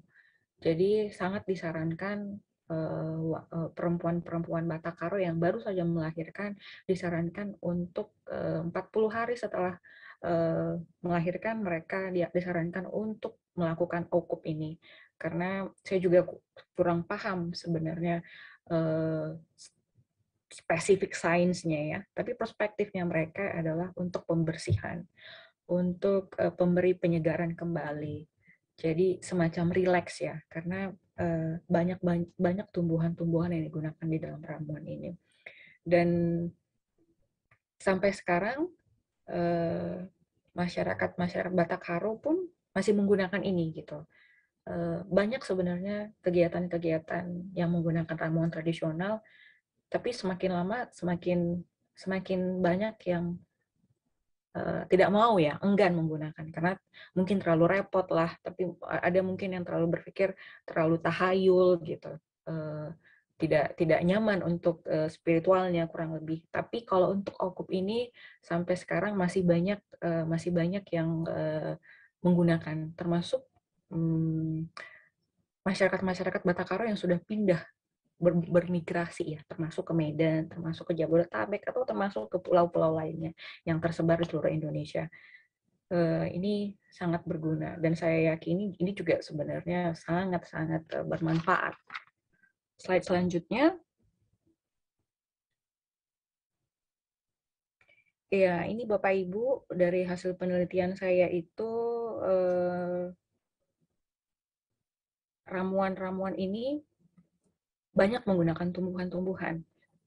Saya sengaja menggunakan bahasa latinnya, jadi ketika nanti Bapak Ibu googling tanaman apa, lebih memudahkan. Karena kalau saya taruh lokalnya, takutnya nanti nggak sama gitu ya. Uh, jadi di, di minyak itu, minyak, itu mereka gunakan untuk pengobatan ketika kita lelah, kesleo yang tadi saya bilang ya, patah tulang, luka ringan, luka bakar dan bahkan uh, sayat misalnya tadi kalau kita lagi habis macul di di, di ladang mungkin kena kena benda tajam gitu ya. Nah itu biasanya mereka gunakan ini juga minyak ini. Jadi di situ uh, ada banyak bapak ibu bisa lihat saking banyaknya itu uh, saya cukup kewalahan waktu itu untuk mengidentifikasi tumbuhan-tumbuhan apa yang sebenarnya mereka gunakan. Uh, tapi bapak ibu yang bisa saya lihat tuh yang areka katecu itu adalah pinang, uh, cocos nucifera itu sebenarnya adalah kelapa. Jadi sebenarnya bahan dasarnya adalah uh, minyak minyak minyak kelapa ya. Jadi kelapa itu kita kita hmm, apa bahasanya kita filter ya. Uh, itu kita setelah kita filter kita dapat uh, sarinya kita kalau kita panasin kan akan menjadi minyak ya. Jadi sebenarnya bahan utamanya adalah itu yang mereka gunakan.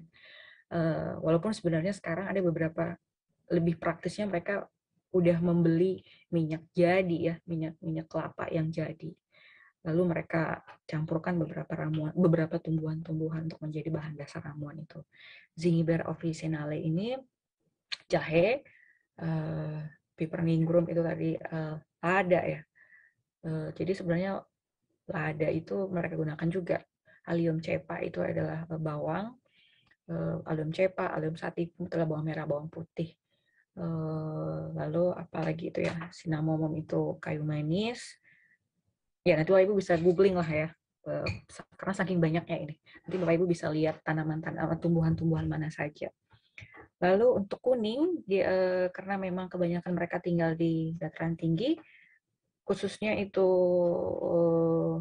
yang memang tidak tahan dingin mereka biasanya akan gunakan itu untuk untuk di, dioleskan di seluruh badan gitu ya. E, menghangatkan badan khususnya anak-anak pemulihan e, pasca kita sakit gitu. Jadi kalau misalnya bapak ibu pernah lihat main ke tanah karo kadang-kadang ibu-ibu suka tempel di sini atau di seluruh badannya. E, waktu saya riset di sini saking saking dinginnya karena saya memang nggak tahan dingin gitu. Jadi tapi karena saya harus tinggal di situ mereka beri apa ngasih ya ngasih ngasih kuning itu dan mereka sarankan uh, mandi ditempel langsung ya gitu. Jadi saya pakai memang. Ketika saya pakai itu badan saya emang panas dan hangat sih jadinya uh, jadi memang sangat dampaknya memang langsung bisa kerasa di di, di badan kita. Itu sama juga bapak ibu bisa lihat nah, itu kurkuma domestika itu adalah kunyit. Jadi memang uh, nanti ada yang berwarna kuning, ada yang berwarna kenapa dibilang kuning ya karena memang sebenarnya warnanya kuning gitu. Tapi ada juga yang memang tidak menggunakan kuning atau kunyit. Jadi warnanya tadi seperti gambar yang saya tampilkan tuh warnanya cenderung putih ya. Uh, di situ ada citrus histrik ya. Citrus histrik itu adalah jeruk purut. Jadi mereka menggunakan itu juga. Kukurbita moscata itu uh, mereka gunakan bijinya ya ke mereka sebut jambe melabu kuning. Lalu uh, apalagi ya yang mungkin Bapak Ibu bisa lihat kukumis cucumis ya, cucumis sativus itu adalah timun. Jadi biji biji timun itu sangat bermanfaat untuk masyarakat Batak Karo. Mereka gunakan itu. Mereka makanya tadi saya bilang uh, family keluarga kukurbitaceae, melon-melon dan timun labu itu sangat penting masyarakat bagi masyarakat Batak Karo untuk uh, tumbuhan obatnya, terutama biji-bijinya.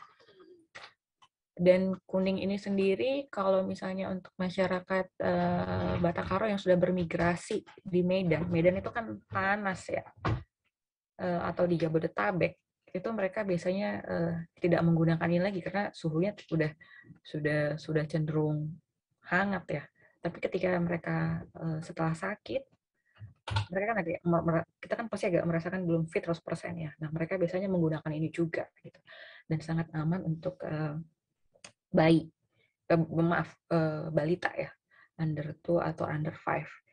Uh, okup ini tadi yang saya sudah sebutkan, pemeliharaan kesehatan dan pemulihan pasca kelahiran. Bapak Ibu bisa lihat tadi yang ada bertanya tentang tumbuhan apa, jadi ada banyak sebenarnya yang mereka gunakan, walaupun di, di zaman sekarang uh, sangat sulit ya untuk menemukan tumbuhan-tumbuhan ini karena ada beberapa tumbuhan yang hanya bisa kita ambil di, di liar ya di mungkin kalau mereka bilang uh, hutan gitu ya.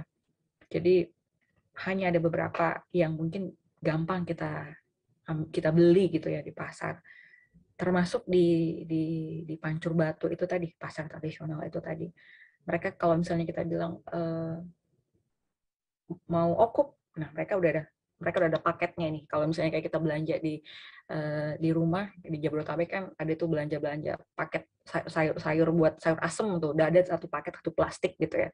Rendang udah ada satu paket. Nah, termasuk juga untuk ramuan-ramuan ini. Mereka sudah melisnya, mereka udah mengumpulkannya. Jadi yang nggak tahu, yang nggak paham cara meramunya, ya udah sangat lebih mudah untuk uh, membuat ya, ramuannya itu. Dan biasanya tumbuhan-tumbuhan ini hanya di uh, di apa ya di uh, hanya direbus. Jadi di, direbus di dalam panci besar gitu dimasukkan semua. Nah terus nanti panci yang berisi ramuan itu ya udah kita langsung masukkan di dalam ruangan kecil itu tadi uh, itu uh, beberapa tumbuhannya mungkin di sini yang perlu saya lihat lagi itu Camferia galanga. Bapak Ibu bisa lihat itu adalah kencur. Uh, Nicolai speciosa itu adalah apa ya kalau masyarakat Karo bilangnya itu patikala oh kalau kita di di di itu adalah honje. Lalu beberapa tumbuhan lainnya itu mungkin bisa Ibu lihat Slide berikutnya. Ini tadi tawar, uh, ini untuk masuk angin, menghangatkan badan, dan meningkatkan nafsu makan. Jadi ada ada dua, ada dua tawar yang sebenarnya bisa dilakukan. Ada dua tawar jenis tawar. Yang pertama memang tawar yang berhubungan tentang aprodisia, ginekologi, dan anak-anak yang sangat gampang uh, terserang sakit. Itu bahan-bahannya Bapak Ibu bisa lihat, bisa googling apa-apa saja yang uh, digunakan. Tapi tawar yang kedua itu adalah uh, yang yang umum ya, pasca sakit atau kelelahan. Itu juga mempunyai tumbuhan-tumbuhan yang berbeda. Slide selanjutnya, Nah, ini uh, seperti tadi saya bilang, you are what you eat gitu loh. Masyarakat Batakaro melihat apa yang kamu konsumsi itu adalah yang menjaga tubuh kamu.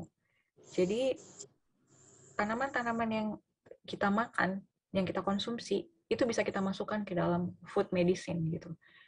Uh, dan juga termasuk uh, tanaman obat ya. Karena apa yang kita konsumsi itu juga yang kita uh, akan gunakan sebagai apa ya health maintenance kita dan lagi-lagi zinc berasnya tetap paling banyak. Di situ ada Bapak Ibu bisa lihat, di situ paling banyak di grafik yang paling bawah di pie chart pie yang paling bawah itu adalah warna biru spices. Spices itu bumbu-bumbu ya, rempah-rempah. Jadi memang masyarakat Karo paling banyak menggunakan bumbu-bumbu uh, rempah-rempah karena mereka percaya bumbu-bumbu rempah ini adalah sebenarnya food medicine mereka. Jadi tidak hanya pangan tapi juga termasuk obat-obat yang at the same time Eh, kita bisa gunakan untuk uh, apa ya obat gitu ya dan paling banyak yang bagian digunakan adalah buah-buahan itu grafik histogram yang paling kanan uh, slide selanjutnya ini bapak ibu uh, beberapa tumbuhan uh, saya mengklasifikasinya ke dalam edible plants yang bisa dikonsumsi ya itu gambar satu dua itu adalah tuba. Mungkin Bapak Ibu pernah pernah dengar kalau masyarakat Batak Toba pada umumnya menyebutnya andaliman. Et, uh, itu kalau kalau masyarakat uh, masyarakat uh, Chinese uh, saya di Taiwan belum pernah melihat ini ya, tapi di China uh, di mainland China-nya mereka bilang Sichuan pepper itu mirip ya. Ini beda beda jenis tapi berasal dari satu kelompok uh, tumbuhan yang sama dan rasanya sangat sangat sangat strong. Uh, dan sudah banyak beberapa peneliti Indonesia yang melakukan uji riset untuk uh, tuba ya andaliman ini. Yang berikutnya adalah salam. Bapak Ibu pasti familiar ya. Slide berikutnya. Yang ini adalah yang tadi saya bilang uh, Etlingera elatior mungkin Bapak Ibu pernah sangat familiar ya untuk yang sebelah kanannya ya itu bunga uh, kalau di di Bogor karena rumah saya tinggal di Bogor saya mereka nyebutnya honje. Masyarakat Baduy juga bilangnya honje. Jadi ini sangat sangat sangat sering digunakan masyarakat Batakaro termasuk buahnya ya. Itu buahnya yang sebelah kiri uh, itu kita sebutnya cekala atau asam patikala. Kalau kincung itu bunganya. Itu sangat sering digunakan termasuk di dalam pengobatannya. Slide berikutnya. Nah, ini yang agak agak uh, susah ya karena beberapa beberapa ini bukan beberapa ini tidak tidak tidak tidak tidak tidak ada kita bisa temukan di pasar. Jadi ini yang saya bilang tadi beberapa tumbuhan itu memang harus mereka ambil dari liar ya, dari tumbuh dari hutan. Ini begonia itu riang-riang, Eh, mereka sebutnya riang-riang, itu juga mereka gunakan di dalam uh, bahan makanan mereka. Lalu ini Biscovia japanica, mereka sebutnya cingkam. Jadi uh, ini tanaman ini, tumbuhan ini yang diambil, yang dimanfaatkan adalah kulitnya. Jadi lama-lama nanti dia merah. Dan ketika direbus juga nanti berwarna merah. Bapak Ibu juga bisa lihat nanti di paper itu sebenarnya cingkam ini digunakan apa saja. Ada banyak mereka gunakan. Slide berikutnya ini juga termasuk uh, tumbuhan yang memang tidak umum ya, tapi batakaro sangat umum. Ini mereka umum, uh, mereka gunakan sebagai pangan dan termasuk juga tumbuhan obat juga karena apa yang mereka konsumsi termasuk juga uh, obat. Ini adalah tono, uh, yang sebelah kiri itu termasuk uh, golongan uh, apa ya saya bilang bahasa Indonesia-nya. Mungkin kayak beringin-beringinan ya, fikus. Uh, yang ini cepira. Mungkin Bapak Ibu pernah lihat kalau misalnya main ke beberapa wilayah-wilayah dataran tinggi. Slide berikutnya. Nah, ini saya juga menampilkan beberapa uh, informasi tentang kulinernya ya. Karena memang yang tadi saya bilang, you are what you eat gitu ya. Mereka memaintainnya tidak hanya dengan tumbuhan obat, tapi dengan makanannya mereka. Salah satunya yang uh, sangat mempesona bagi saya karena Eh, sangat tidak sangat tidak apa ya sangat unik sangat tidak uh, apa ya bahasanya pokoknya termasuk bizarre food ya gitu. Jadi uh, sangat tidak umum. Karena sebenarnya teritas ini uh, di, di bahan utamanya adalah uh, bah, sar, sari yang di yang di yang di yang di di filter dari uh, perut pertama uh, kelompok pemamah biak. Sapi uh, atau uh, kambing ya. Karena memang uh, mereka maksudnya si si pemamah biak ini kan ada ada kalau bapak ibu masih ingat mereka punya beberapa uh, perut. Nah sebelum masuk ke perut yang kedua setelah satu kali diolah itu mereka akan keluarkan lagi. Dan itu yang akan mereka uh, uh, apa ya digest lagi. Makanya mereka disebut pemamah biak. Nah stari yang pertama itulah yang diambil masyarakat etnis Karo sebagai bahan baku dari uh, teritas ini. Dan itu sangat aromanya memang tidak nyaman sangat strong di, di, di, di hidung. Tapi ketika mereka mengolahnya, mereka mencampur beberapa tumbuhan-tumbuhan, termasuk ramuan itu uh, sedikit berkurang ya uh, aroma yang tidak nyaman di telinga. Dan ini merupakan salah satu kuliner yang sangat aman dikonsumsi oleh para senior ya, yang mungkin mempunyai keterbatasan konsumsi. Sudah mulai mengontrol karena kolesterol. Jadi ini termasuk kuliner yang aman. Jadi biasanya mereka mencampurkan beberapa daging-daging merah yang kecenderungannya itu tidak aman dikonsumsi. Tapi dengan dengan beberapa ramuan, dengan termasuk juga teritas ini aman dikonsumsi. Dan ini juga termasuk teri, eh, kuliner yang memang di hanya akan di disajikan pada saat satu pesta tertentu gitu, pesta adat tertentu. Jadi enggak setiap mereka melakukan pesta mereka mereka akan menyajikan ini. Selanjutnya, nah ini uh, saya tampilkan beberapa foto yang mungkin uh, bisa menampilkan bagaimana sebenarnya mereka mengolah teritas itu. Bapak Ibu bisa lihat sebelah kiri itu mereka menyaring ya uh, teritas tadi itu yang dari uh, hewan pemamah biak itu. Lalu yang kedua, gambar yang kedua mereka uh, masak dengan mencampurkan beberapa uh, tumbuhan-tumbuhan.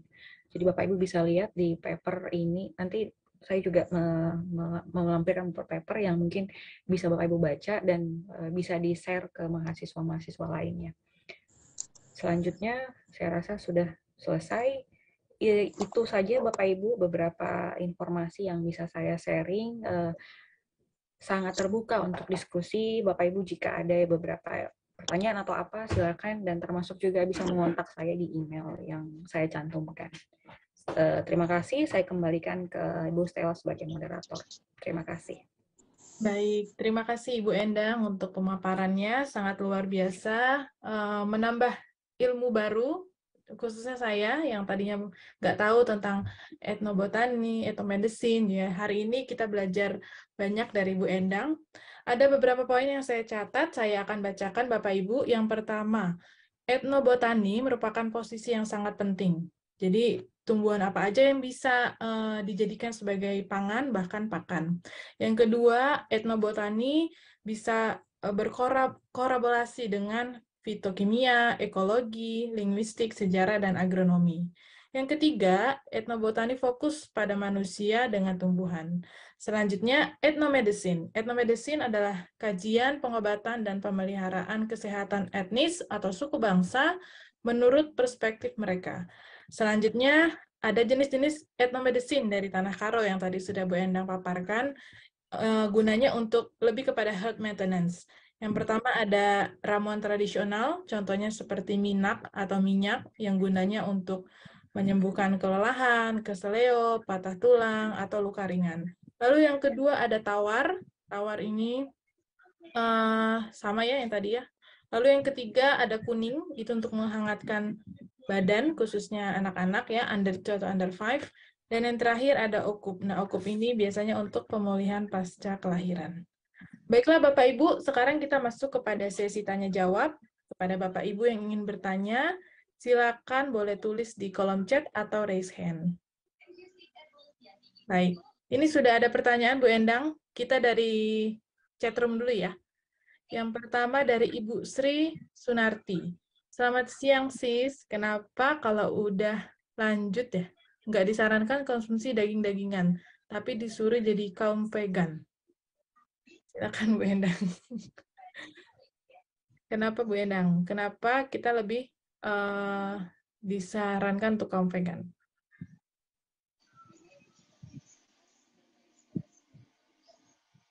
Oh, mic-nya belum dibuka, Bu Endang.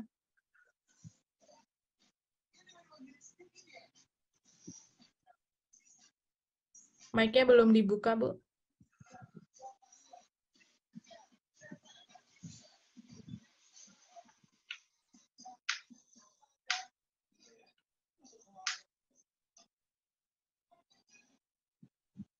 Baik, Bapak Ibu, untuk link absennya nanti akan dikirimkan setelah sesi tanya jawab, sekaligus dengan Baik.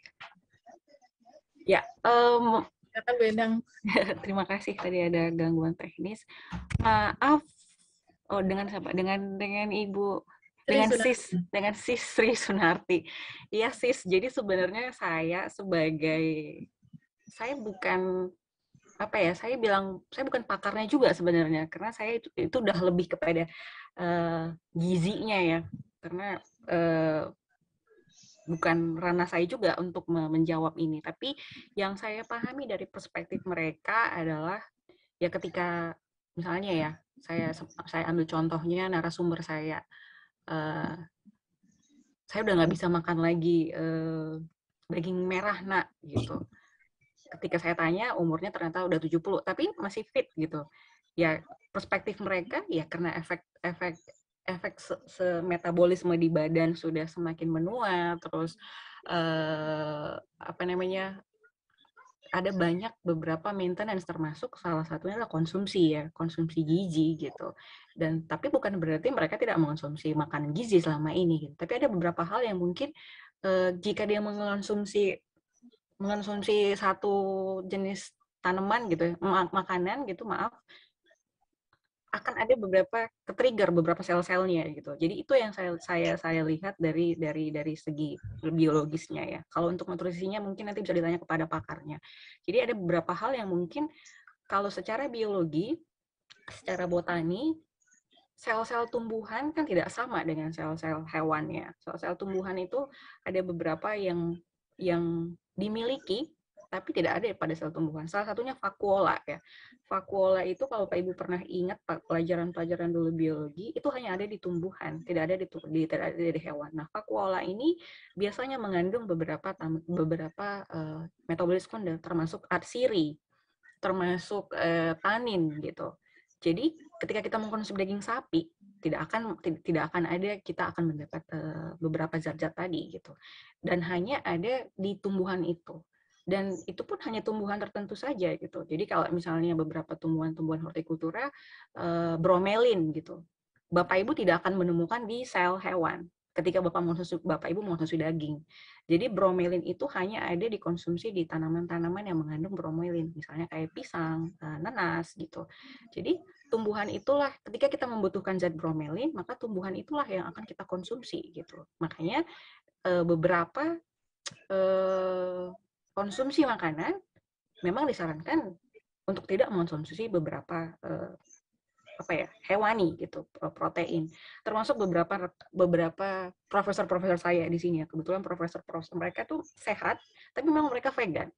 Dan tapi bukan berarti mereka anti dengan beberapa sumber eh, hewani gitu. Tapi memang hanya eh, sebagai maintenance-nya aja ya yang mereka akan eh, lihat bahwa ini penting itu eh, dari saya Baik. untuk Kak Sri Snarti semoga menjawab ya. Baik, terima kasih Bu Endang atas jawabannya. Semoga menjawab ya Ibu Sri. Lalu kita lanjut ke yang raise hand dulu ya Bu Endang ya. Di sini Ya, ada siap. Pak Ahmad Farid. Silakan Pak Ahmad, open mic. Operator mohon bantuannya. Pak Ahmad silakan. Bisa di open mic-nya. Ya, baik. Bismillahirrahmanirrahim. Assalamualaikum warahmatullahi wabarakatuh. Waalaikumsalam. Waalaikumsalam warahmatullahi Ya, terima kasih Bu Stella atas waktunya. Yang saya tanyakan, tadi dijelaskan banyak ya, banyak ramuan-ramuan herbal yang ada di Tanah Karo ataupun herbal-herbal ciri khas dari Tanah Karo. Terus yang saya tanyakan itu untuk sistem peracikannya, contohnya minyak gosok gitu, minyak gosok Tanah Karo kayak gitu. Itu apakah ada sistem yang kalau kita kiblatnya ke kayak kedokteran TCM, apakah sama atau beda itu Bu? Itu saja sih sebenarnya. Oh, oke.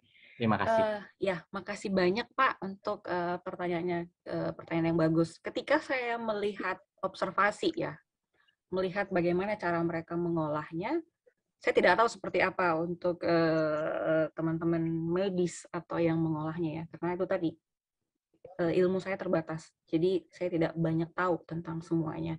Yang saya pahami ketika mereka eh, pers- persepsinya mereka adalah yang bahan pertama yang mereka olah adalah si kelapa ya, cocos nucifera itu tadi. Setelah itu mereka masukkan eh, eh, bawang-bawangan. Eh maaf, eh, beberapa tanaman-tanaman yang dari liar yang memang bukan termasuk mempunyai minyak ketsiri. Itu tahap yang kedua mereka masukkan. Lalu yang ketiga adalah tumbuhan-tumbuhan yang mengandung minyak atsiri. Kenapa mereka masukkan yang ketiga, yang terakhir? Karena takutnya minyak atsirinya akan banyak hilang ketika pada melakukan proses pemanasan. Karena itu ada proses pem- pe- eh, masak ya gitu. Jadi eh, di situ eh, saya lihat secara local knowledge itu yang mereka punya untuk meracik bum- meracik tumbuhan-tumbuhan tadi. Kalau untuk di di di apa ya ilmu medisnya saya kurang paham, saya tidak paham. Mungkin Bapak Ibu bisa bisa diskusi dengan yang lebih lebih ahlinya. Tapi yang mereka lakukan itu adalah tahapnya seperti itu. Karena tapi kalau dipikir se- secara saintifiknya, sainsnya, ya itu tepat karena memang beberapa eh, tanaman beberapa zat-zat itu sangat mudah teroksidasi, sangat mudah rusak ketika kena panas. Jadi tanpa disadari bahwa sebenarnya mereka sudah mengetahui pe- pemahaman saintifik itu tadi ya. Itu yang saya lihat.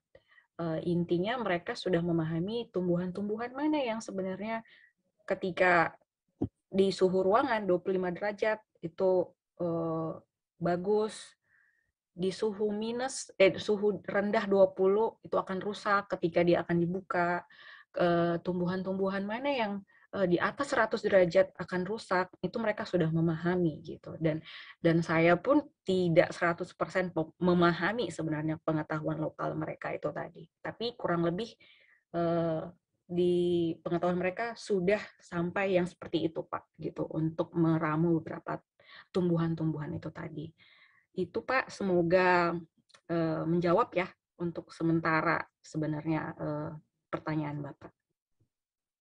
Baik, bagaimana Pak? Sudah cukup menjawab ya? Baik, terima kasih Bu Endang untuk jawabannya. Kita beralih ke penanya yang kedua, Bu Endang. Di sini ada Ibu Wening. Silakan Ibu Wening untuk open mic. Operator, mohon bantuan. Oke, terima kasih Ibu Stella. Selamat siang, Eh, Bu Endang mau tanya nih. Ini kan pembahasannya Ibu. tentang etnomedicine dari Tanah Karo. Kebetulan eh, saya dari etnis Jawa.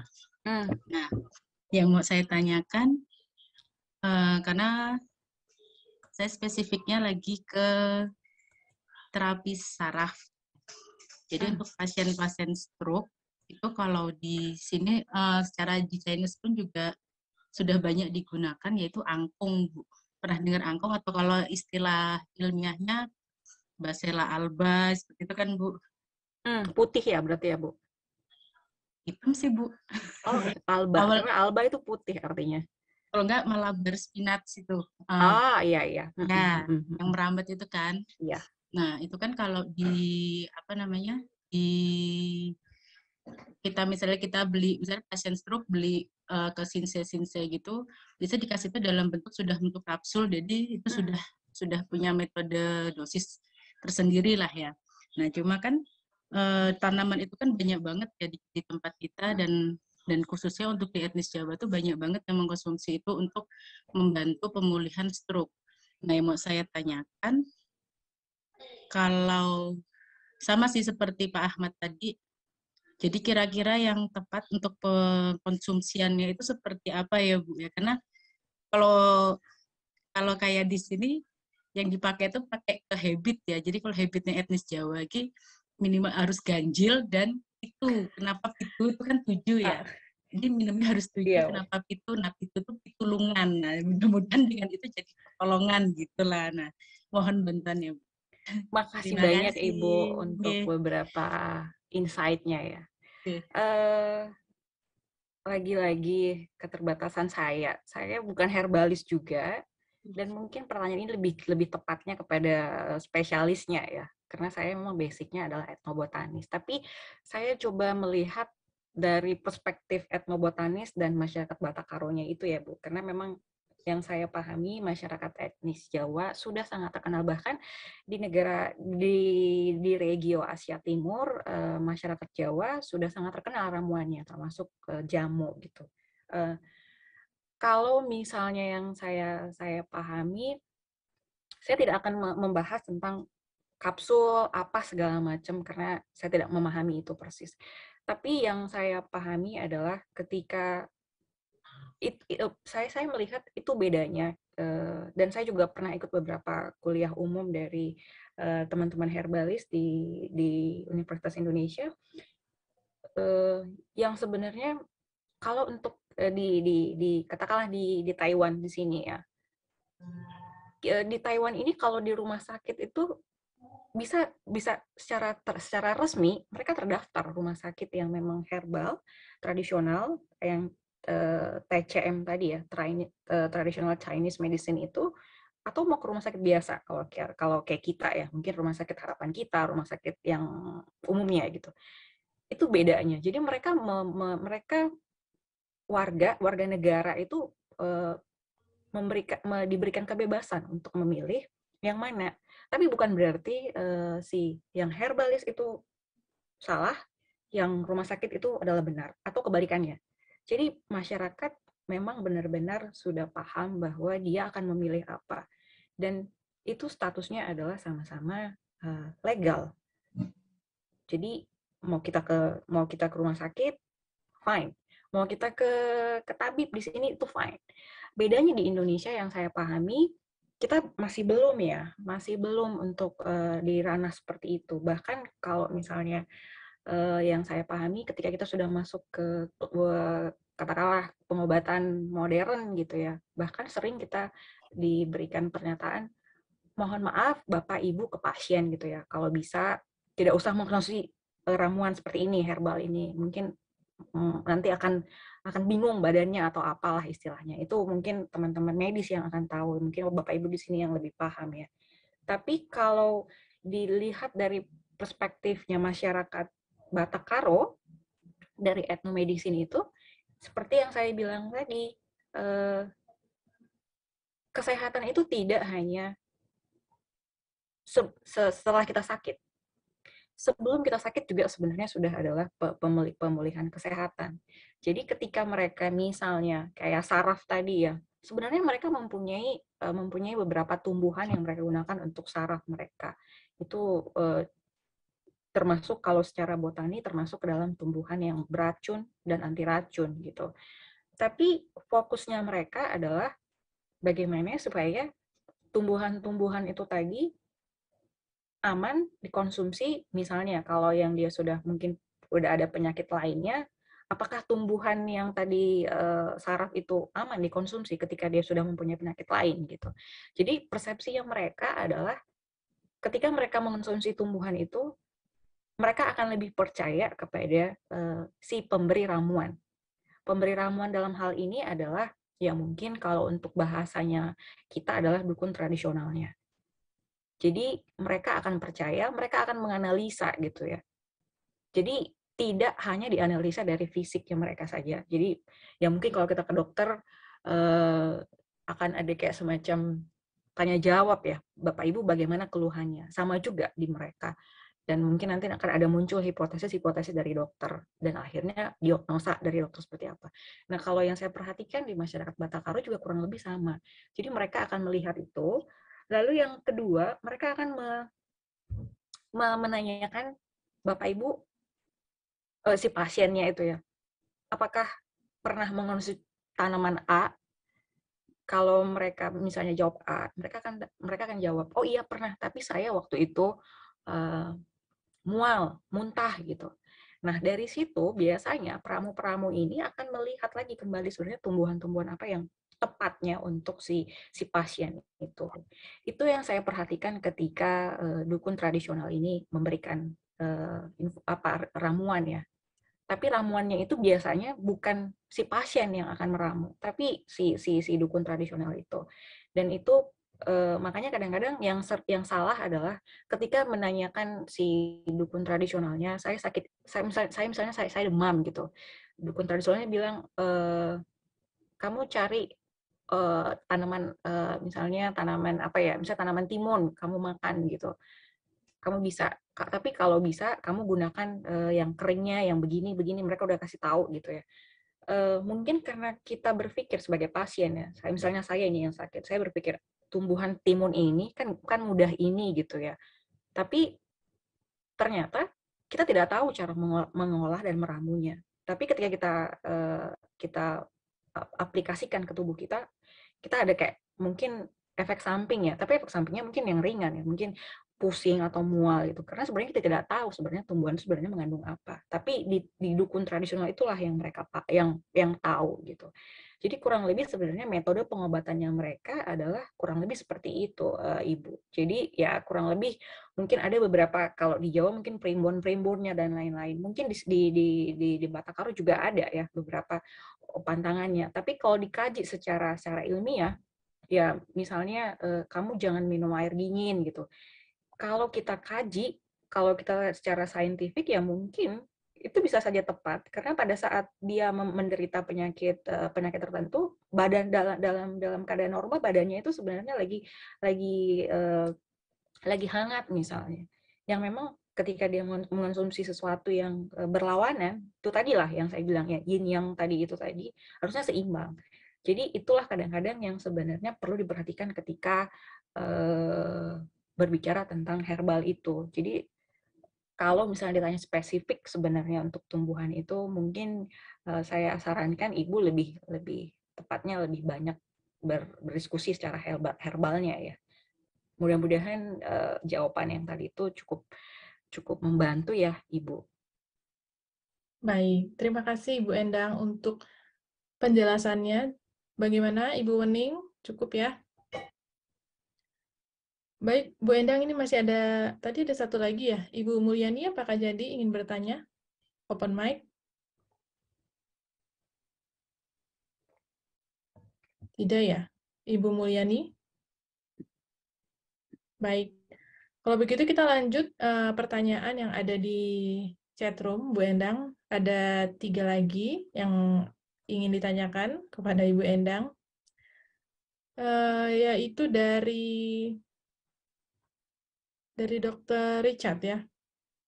Oh belum, sebelumnya ada nih. Dari Pak Rahmat Effendi, Karangasem. Selamat siang, izin bertanya apakah kandungan zat yang ada pada setiap tumbuhan herbal seperti bawang putih, merah, ketika dimasak akan berkurang khasiatnya? Boleh jelaskan Ibu? Terima kasih.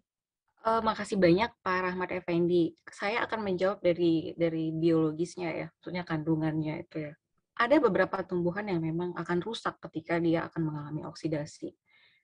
Uh, oksidasi itu berarti, berarti proses pemanasan ya. Kalau yang uh, saya yang saya pahami untuk bawang putih dan bawang merah tidak ya karena dia sebenarnya tidak tidak tidak mengandung metabolit sekunder yang memang akan rusak ketika proses oksidasi. Biasanya tanaman-tanaman yang mengandung sensitif dengan oksidasi adalah tanaman-tanaman yang mengandung misalnya kayak vitamin C gitu. Itu sangat mudah untuk proses oksidasi. Makanya ada beberapa tumbuhan yang memang beberapa buah gitu ya yang tidak disarankan untuk di blender gitu karena akan rusak sebenarnya. Tapi kalau kita berbicara tentang uh, uh, bawang putih, bawang merah itu sebenarnya ada ada ada adalah uh, minyak atsirinya. Jadi ada beberapa minyak atsiri yang mungkin akan strong, akan pecah gitu sel vakuolanya ketika dia akan uh, ada beberapa tekanan gitu. Jadi bukan kepada rusak atau tidak kandungannya ya, tapi lebih kepada dia akan mengeluarkan minyak atsirinya banyak atau tidak gitu. Jadi ketika kalau misalnya rempah-rempah, katakanlah spices ya, banyak mengandung minyak siri, ya kemungkinan besar dia akan mengeluarkan ketika pertama dia sudah tua. Kalau muda dia tidak karena banyak karena tidak akan banyak mengandung beberapa sel-sel vakuola itu tadi. Dan ketika dia ketika makanya kadang-kadang kalau kita mengiris bawang merah, bawang bawang merah ya, bawang merah tuh ketika kita iris mata kita e, berair perih gitu. Tapi kalau misalnya kita e, panen bawang merah belum menjadi bawang merah yang benar-benar uh, matang katakanlah ya panen kita bisa panen kita iris ya mungkin kita bisa menciumnya aja tapi tidak sampai menyebabkan mata kita uh, perih gitu sampai menangis gitu ya. Jadi ini beberapa uh, penekanan-penekanan tumbuhan-tumbuhan yang banyak mengandung minyak katsiri tadi pak. Kurang lebih uh, itu Pak Rahmat Effendi uh, mudah-mudahan membantu ya baik terima kasih Bu Endang atas jawabannya mudah-mudahan terjawab ya Pak Rahmat kita lanjut ke pertanyaan selanjutnya, Bu. Ini dari Dr. Richard Sihaan. Ethnomedicine ini merupakan uh, bukti empirik. Apa upaya yang harus dilakukan untuk bisa menjadikan bukti-bukti empirik ini menjadi evidence base? Terima kasih. Oke. Terima kasih, Pak Richard. Lagi-lagi, ketika kita membicarakan tentang empirik, etnomedicine, etnobotani, tetap harus ada dua ya, emik dan etiknya tadi itu ketika kita sudah me menganalisanya di dalam uh, uji farmakologi, ya berarti itu sudah sudah bukan ranahnya si para etnobotanis itu lagi gitu.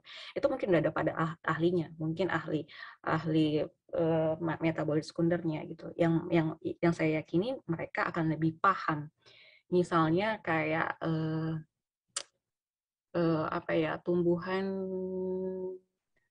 misalnya uh, bawang merah ya. Bawang merah kalau untuk masyarakat Batakaro sangat sangat terkenal dan sangat dipercaya sangat mampu mengobati demam jika ditambah oleh ramuan-ramuan lainnya, maksudnya dalam tumbuhan-tumbuhan lainnya. Itu perspektif dari mereka. Ya itulah emik mereka, itulah ilmunya mereka. Tapi kita tidak bisa menyatakan kalau itu salah gitu ketika kita bisa mau menilainya ya memang harus ada pengujiannya yaitu pengujian klinisnya itu tadi. Dan itu sah-sah saja. Tapi kalau misalnya kita mau me, me, me, meng, mengsainskan pengetahuan lokal mereka dengan cara membandingkan wah salah keliru. Nah itu sebenarnya itu yang sudah cukup eh, itu yang sudah keliru. Karena pengetahuan lokal mereka eh, seperti itu gitu justru kadang-kadang pengetahuan lokal itu membantu beberapa pengetahuan-pengetahuan apa ya pengetahuan modern kita. Jadi memang yang saya pahami begitu semakin banyak apa ya penemuan-penemuan zat-zat yang bermanfaat secara obat itu etnobotani itu termasuk adalah cabang ilmu yang memang di, di, di, di, dimasukkan ke dalam list karena memang pada umumnya walaupun belum teruji secara klinis, tapi mereka sudah ada, mereka sudah eksis, mereka sudah mempraktekkan, dan itu yang akan uh, di, diuji secara klinis apakah nanti bisa masuk ke dalam golongan-golongan uh, uh, tanaman-tanaman tumbuhan-tumbuhan uh, farmakologi. Karena kan yang saya pahami itu ada proses-prosesnya ya. Jadi di di step ini di di sharing ini saya akan bersharing tentang uh, etnobotani itu sendiri, etnomedicine itu sendiri. Mudah-mudahan terjawab uh, Pak Richard untuk uh, beberapa komennya dan pertanyaannya. Baik, Bu Endang, terima kasih untuk jawabannya. Semoga terjawab ya, Dr. Richard. Di sini ada dua lagi dari Pak George dan juga dari Pak Margo. Kita pertama dari Pak George dulu. Ibu Endang, selamat siang. Saya dengan selamat George, siang, mahasiswa S1 Dharma Husada Nalanda. Mau tanya, mengapa kesadaran kita sebagai WNI itu boleh dikatakan kurang ya dibandingkan dengan orang-orang di Vietnam? Sebagai contoh adalah menggunakan ramuan herbal medicine. Padahal di Indonesia, seperti di Tanah Karo dan lainnya, terdapat banyak sekali bahan-bahan alami sebagai ramuan herbal medicine. Sama tadi seperti kasusnya di itu ya Bu yang Ibu share. Iya. Boleh ke rumah sakit ini atau ke mm, Iya. Kenapa Makasih Bu, banyak Pak George Kencana. Uh, ya, memang ada apa ya? Saya saya berapa kali mengikuti kuliah kuliah umum dari profesor-profesor herbal karena kan sekarang program herbal tuh ada master di UI ya, baru dibuka beberapa tahun lalu.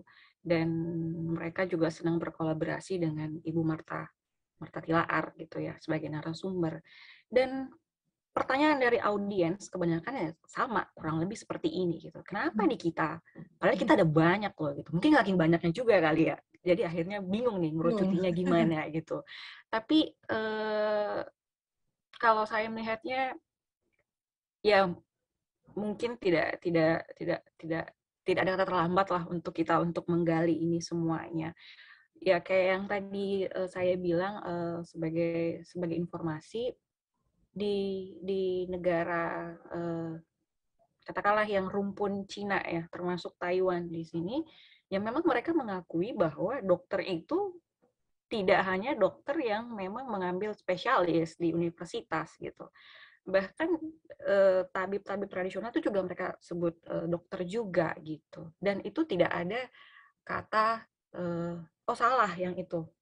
Nah kebetulan kita mungkin maksudnya adalah mengontrol ya bagaimana supaya kan sebenarnya pengontrolan ya jangan sampai jangan sampai kita melewati uh, mungkin takut akan ada beberapa penyalahgunaan. Dan dan itu juga masih dalam dalam dalam pembahasan beberapa uh, rekan-rekan herbalis yang mungkin saya pahami ketika mereka membicarakan kapan ya Indonesia ini bisa eh, terkenal lah untuk beberapa pengobatan-pengobatan herbalnya.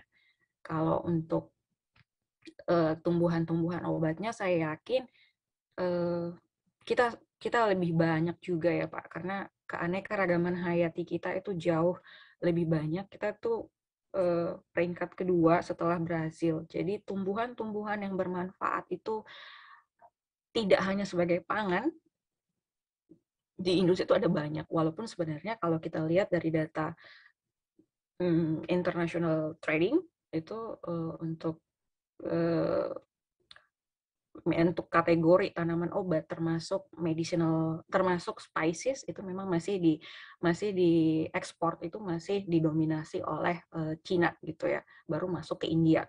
Kalau untuk uh, importnya itu uh, negara Amerika dan negara Jerman. Karena memang mereka butuh bahan-bahan baku dari dari dari dari apa ya dari luar dan mereka yang mengolah dan akhirnya ketika diolah kembali lagi ke negara-negara yang memang sebagai jadi produsen. Jadi kurang lebih memang itu menjadi tantangan tersendiri juga ya Pak. Bahkan untuk etnomedicine sendiri, etnobotani sendiri pun tertantang juga. Buktinya yang kayak tadi slide yang saya informasikan. Dari dari Sabang sampai ke Merauke itu etnomedicine itu, etnobotanis itu masih berfokus pada tumbuhan-tumbuhan Jawa dan Bali gitu. Padahal saya yakin masyarakat uh, Mentawai di Sumatera Barat, masyarakat Dayak di di di, di Kalimantan, masyarakat uh, Maluku Utara, Ternate, itu mereka mempunyai beberapa pengalaman-pengalaman uh, yang mungkin tidak tereksplor, tidak tidak terekspos bahkan juga ya beberapa dalam publikasi ilmiah. Jadi ya itu tantangan sendiri juga ya Pak. Mudah-mudahan ke depannya kita juga melalui kerjasama eh, akademisi termasuk ke universitas, eh, pemerintah, termasuk juga beberapa NGO-NGO sebagai stakeholder untuk bisa membentuk partnership ya bisa mem, mem, apa ya menduniakan beberapa herbal-herbal ini. Terima kasih banyak Pak George. Semoga menjawab lah ya untuk ke pertanyaannya. Baik, terima kasih untuk pertanyaannya yang luar biasa bagus, Pak George. Terima kasih juga Bu Endang sudah jawab. Kita lanjut ke pertanyaan terakhir, Bu Endang. Ini dari Pak Margo. Selamat siang, Bu Endang. Terima kasih atas presentasinya. Dalam penelitian etnomedicine, selain mengidentifikasi manfaat tanaman terhadap kesehatan berdasarkan bukti empiris etnis tertentu seperti yang Bu Endang paparkan, ada ada dua pertanyaan yang ditanyakan. Satu, apakah etnomedicine mencakup penelitian lebih lanjut untuk menjelaskan secara ilmiah kaitan antara kandungan zat aktif tertentu dan bagaimana mekanisme zat aktif tersebut mengurangi gejala atau menyembuhkan suatu penyakit.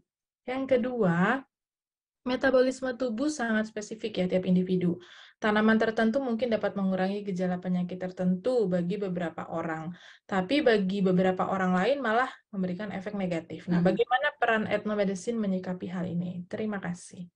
Makasih banyak Pak Pak Margo. Pak Margo. Ya, hmm, oke Pak. Untuk yang pertama itu tadi ya, kalau etnomedicine, etnobotanis itu apa ya perannya adalah menggali. Karena proses proses satu satu satu tumbuhan menjadi masuk dalam farmakologi itu prosesnya panjang sekali. Jadi pertama ya kalau kita lihat kita menggali dari masyarakat itu udah proses etnomedisinnya lalu yang kedua pengumpulannya pengumpulan spesimen juga sebenarnya di etnomedicine juga ada ya kayak saya misalnya saya mengumpulkan beberapa spesies tumbuhan untuk saya jadikan herbarium herbarium ini tanaman eh, tumbuhan-tumbuhan kering yang saya awetkan untuk diuji. Diuji ini bisa bisa bisa banyak ya. Nanti diuji adalah pertama, kalau dari segi botanisnya dari eh, penelitian saya, saya akan mengidentifikasi sebenarnya dia masuk ke dalam eh, tadi Bapak Ibu bisa sering lihat ya presentasi saya ada family. Itu tugas seorang botanis untuk mengidentifikasi family mana. Terus yang kedua, dia masuk ke dalam dia benar tidak masuk dalam spesies tertentu. Eh spe- dia dia benar tidak spesies A B. Jangan sampai salah mengidentifikasi. Lalu berikutnya setelah herbarium itu dibawa akan di akan diuji. Setelah setelah jelas nih namanya siapa. Setelah tahu tumbuhannya apa, setelah tahu dari family apa, biasanya akan masuk ke uji klinis.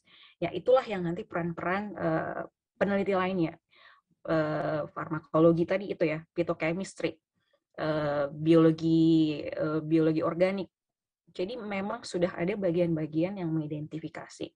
Lalu nanti ada lagi yang bagian uji-uji klinisnya gitu ya. Mungkin nanti akan setelah diidentifikasi mengandung bahan A, mengandung metabolit sekunder B. Nanti akan ada uji klinis lagi yang mungkin akan disuntikkan kepada eh, sampel ya. Dalam hal ini mungkin mencit dan lain-lain. Setelah itu proses lagi pengolahannya. Jadi ada banyak panjang proses yang perlu kita perhatikan. Jadi dalam satu rangkaian itu tidak semua para ahli-ahli ini ikut ambil bagian dalam satu langkah, step panjang itu. Jadi kalau saya ya mungkin tahapnya itu tadi gitu. Saya mengidentifikasi, saya hanya memastikan jangan sampai tumbuhan yang diidentifikasi oleh para eh, space eh, para ahli fitochemistry jangan misalnya begini. Jangan sampai dia bilang eh, itu termasuk family eh, bawang-bawangan. Padahal sebenarnya itu bukan bawang-bawangan. Tapi kalau dilihat dia bentuknya seperti bawang, tapi dia termasuk family eh, yang lain. Karena beda family, beda kelompok, beda kandungan. Jadi letaknya di situlah peran dari para si etnobotanis itu, eh, Bapak Ibu sekalian. Jadi tidak serta merta mereka ini langsung ikut sampai di tahap yang eh, ujung-ujungnya tadi. Oh ya, mi- minyak minyak tadi itu bisa jadi kita gunakan sebagai sebagai bahan obat. Jadi banyak prosesnya. Jadi kurang lebih eh, kalau kita mau mengetahui ya harus ada uji lab dan harus ada uji harus ada uji eh, pemakaian. Dalam hal ini mungkin sampelnya tadi itu yang mencit itu tadi. Itu mungkin eh, untuk pertanyaan yang pertama ya.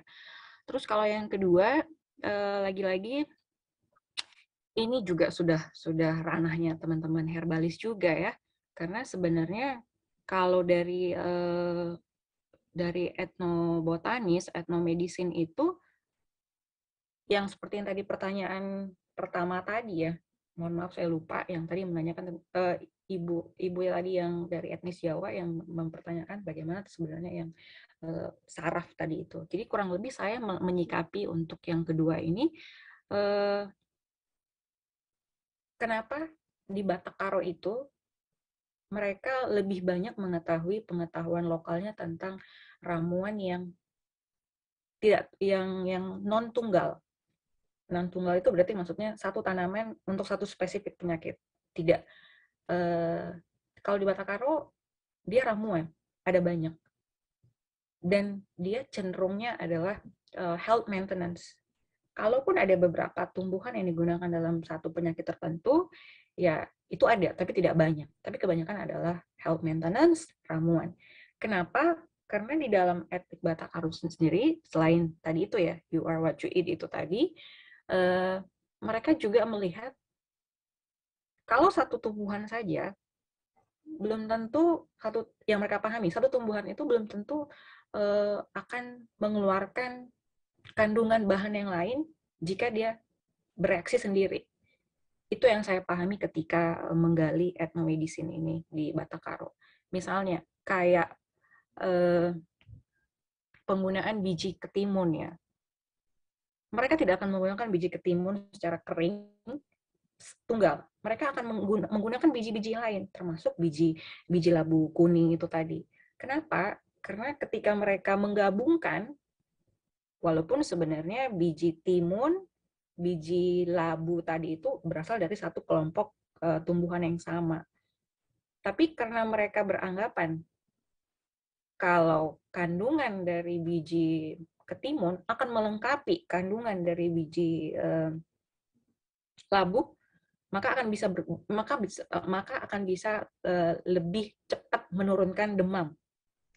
Jadi itu yang saya pahami ketika saya meneliti tentang perspektif masyarakat Batakaronya ya Pak. Jadi mereka tidak memang hanya memahami satu, tapi ada banyak ramuan. Karena salah satu tujuan itu tadi ya, ketika dia digabung, hasilnya akan lebih akan lebih besar, hasilnya akan lebih cepat terasa uh, mungkin mungkin juga bisa jadi ada pengganti substitusi ya. Kenapa substitusi? Ya karena ternyata bahan A dan bahan B itu uh, di tumbuhan B itu sama. Dan substitusi itu pun kalau saya perhatikan mereka nggak sembarangan substitusinya. Jadi kayak misalnya uh, misalnya walaupun dia sama-sama dari keluarga bawang-bawangan ya, bukan berarti ketika bawang merah diganti akan sama dengan bawang putih. Jadi mereka sudah mempunyai uh, pengetahuan lokal seperti itu. Itu yang uh, saya pahami ketika uh, menggali sebenarnya apa konsep etnomedicine di Batakaro itu, Pak, Margo, Pak Margo ya, Pak Margo untuk pertanyaannya. Semoga menjawab ya Pak untuk dua pertanyaan yang tadi sudah disampaikan di chat group. Baik, baik terima kasih Bu Endang untuk uh, jawabannya.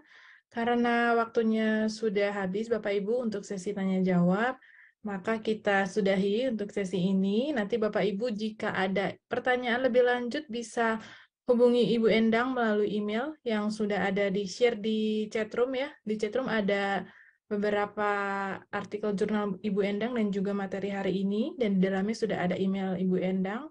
Bapak Ibu bisa berdiskusi lebih lanjut uh, dengan beliau melalui email. Ya, Bu Endang, bersedia ya, ya? Sangat bersedia, sangat terbuka untuk diskusi. Baik, terima kasih Bu Endang.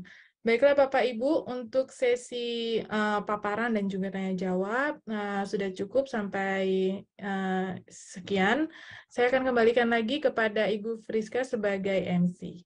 Kepada Bu Friska, saya persilakan. Oke, baik. Terima kasih Ibu Stella. Uh, terima kasih juga kepada Ibu Endang atas paparannya yang luar biasa ya hari ini.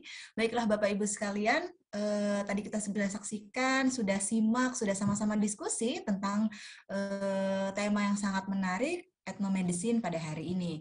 Kita akan lanjutkan kegiatan kita dengan pembagian atau pemberian sertifikat kepada narasumber Ibu Endang Christine Purba.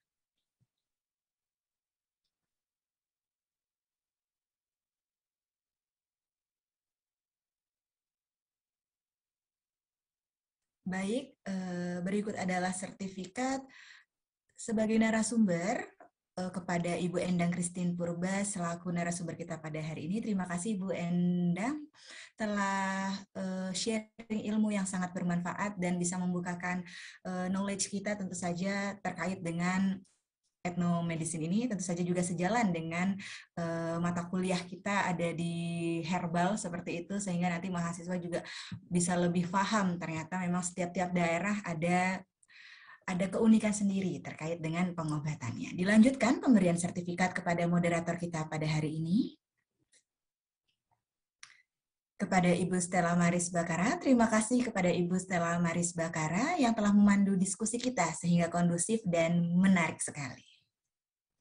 Baik, Bapak Ibu sekalian, Sebelum kita mengakhiri kuliah umum pada hari ini, mari kita lanjutkan dengan sesi foto bersama untuk mendokumentasikan kegiatan yang sangat bermanfaat ini. Dimohon kepada Bapak Ibu sekalian untuk open cam. Kepada operator, kami persilahkan untuk dibantu dalam sesi foto bersama. Baik, Bapak Ibu, silakan on cam. Kita akan memulai sesi foto bersama.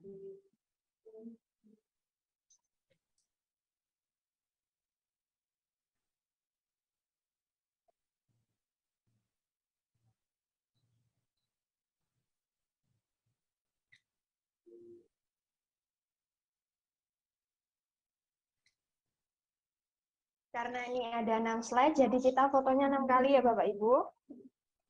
Oke, baik. Silahkan, Miss Meta.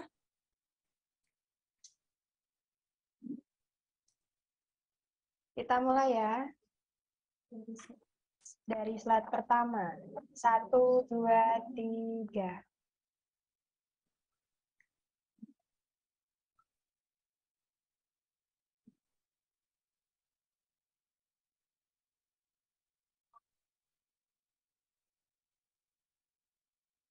Kita lanjutkan ke slide kedua ya Bapak Ibu, silakan on cam.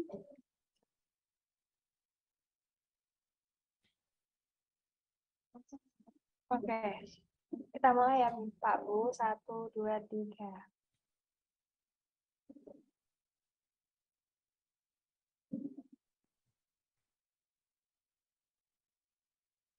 Oke Mbak, aku sengaja. Oke. Slide ketiga ya Bapak Ibu.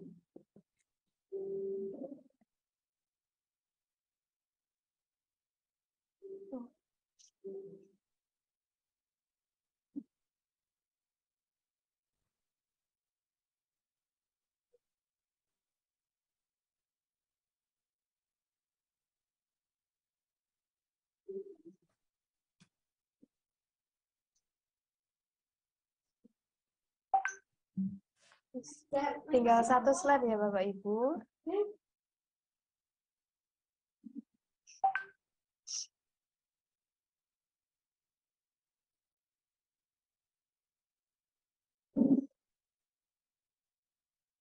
Oke Bapak Ibu, foto bersama sudah selesai dan waktu selanjutnya saya kembalikan kepada Miss Priska. Terima kasih. Baik, terima kasih Miss Meta. Baiklah Bapak Ibu sekalian, setelah kita foto-foto bersama mengabadikan momen kita hari ini, sebelum kita mengakhiri kegiatan kita, alangkah lebih baiknya jika kita sudah memulai dengan doa, mari kita akhiri kegiatan hari ini dengan pembacaan doa. Kepada Miss Meta, saya persilahkan untuk memimpin doa secara keagamaan Buddha. Mari Bapak Ibu, sebelum kita mengakhiri kegiatan kuliah umum pada siang hari ini, mari kita akhiri bersama dengan membacakan doa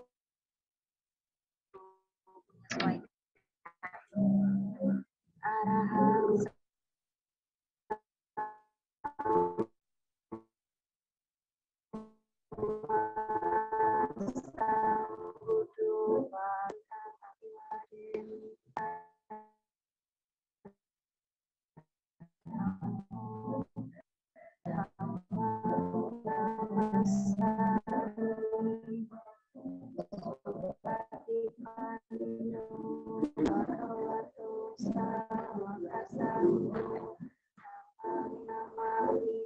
hidup bahagia. Sadu, saya kembalikan kepada Miss. Baik, terima kasih kepada Miss Meta. Baiklah Bapak Ibu sekalian, eh, akhirnya kita telah sampai pada ujung kegiatan kuliah umum kita pada hari ini. Terima kasih saya ucapkan kepada narasumber kita pada hari ini, Ibu Endang Kristin Purba. Kepada Bapak Ibu peserta kuliah umum yang telah mengikuti kuliah umum ini dengan antusias dan interaktif, terima kasih banyak. Terima kasih kepada Ibu moderator kita, Ibu Stella Maris Bakara, dan saya selaku MC pada hari ini memohon maaf jika ada salah kata perbuatan saya yang kurang berkenan di hati Bapak Ibu sekalian. Saya akhiri, wassalamualaikum warahmatullahi wabarakatuh, shalom, om swastiastu, sotihotu, namo buddhaya. Terima kasih Bapak Ibu sekalian. Terima kasih Bu Endang. Terima kasih Bapak Ibu semua.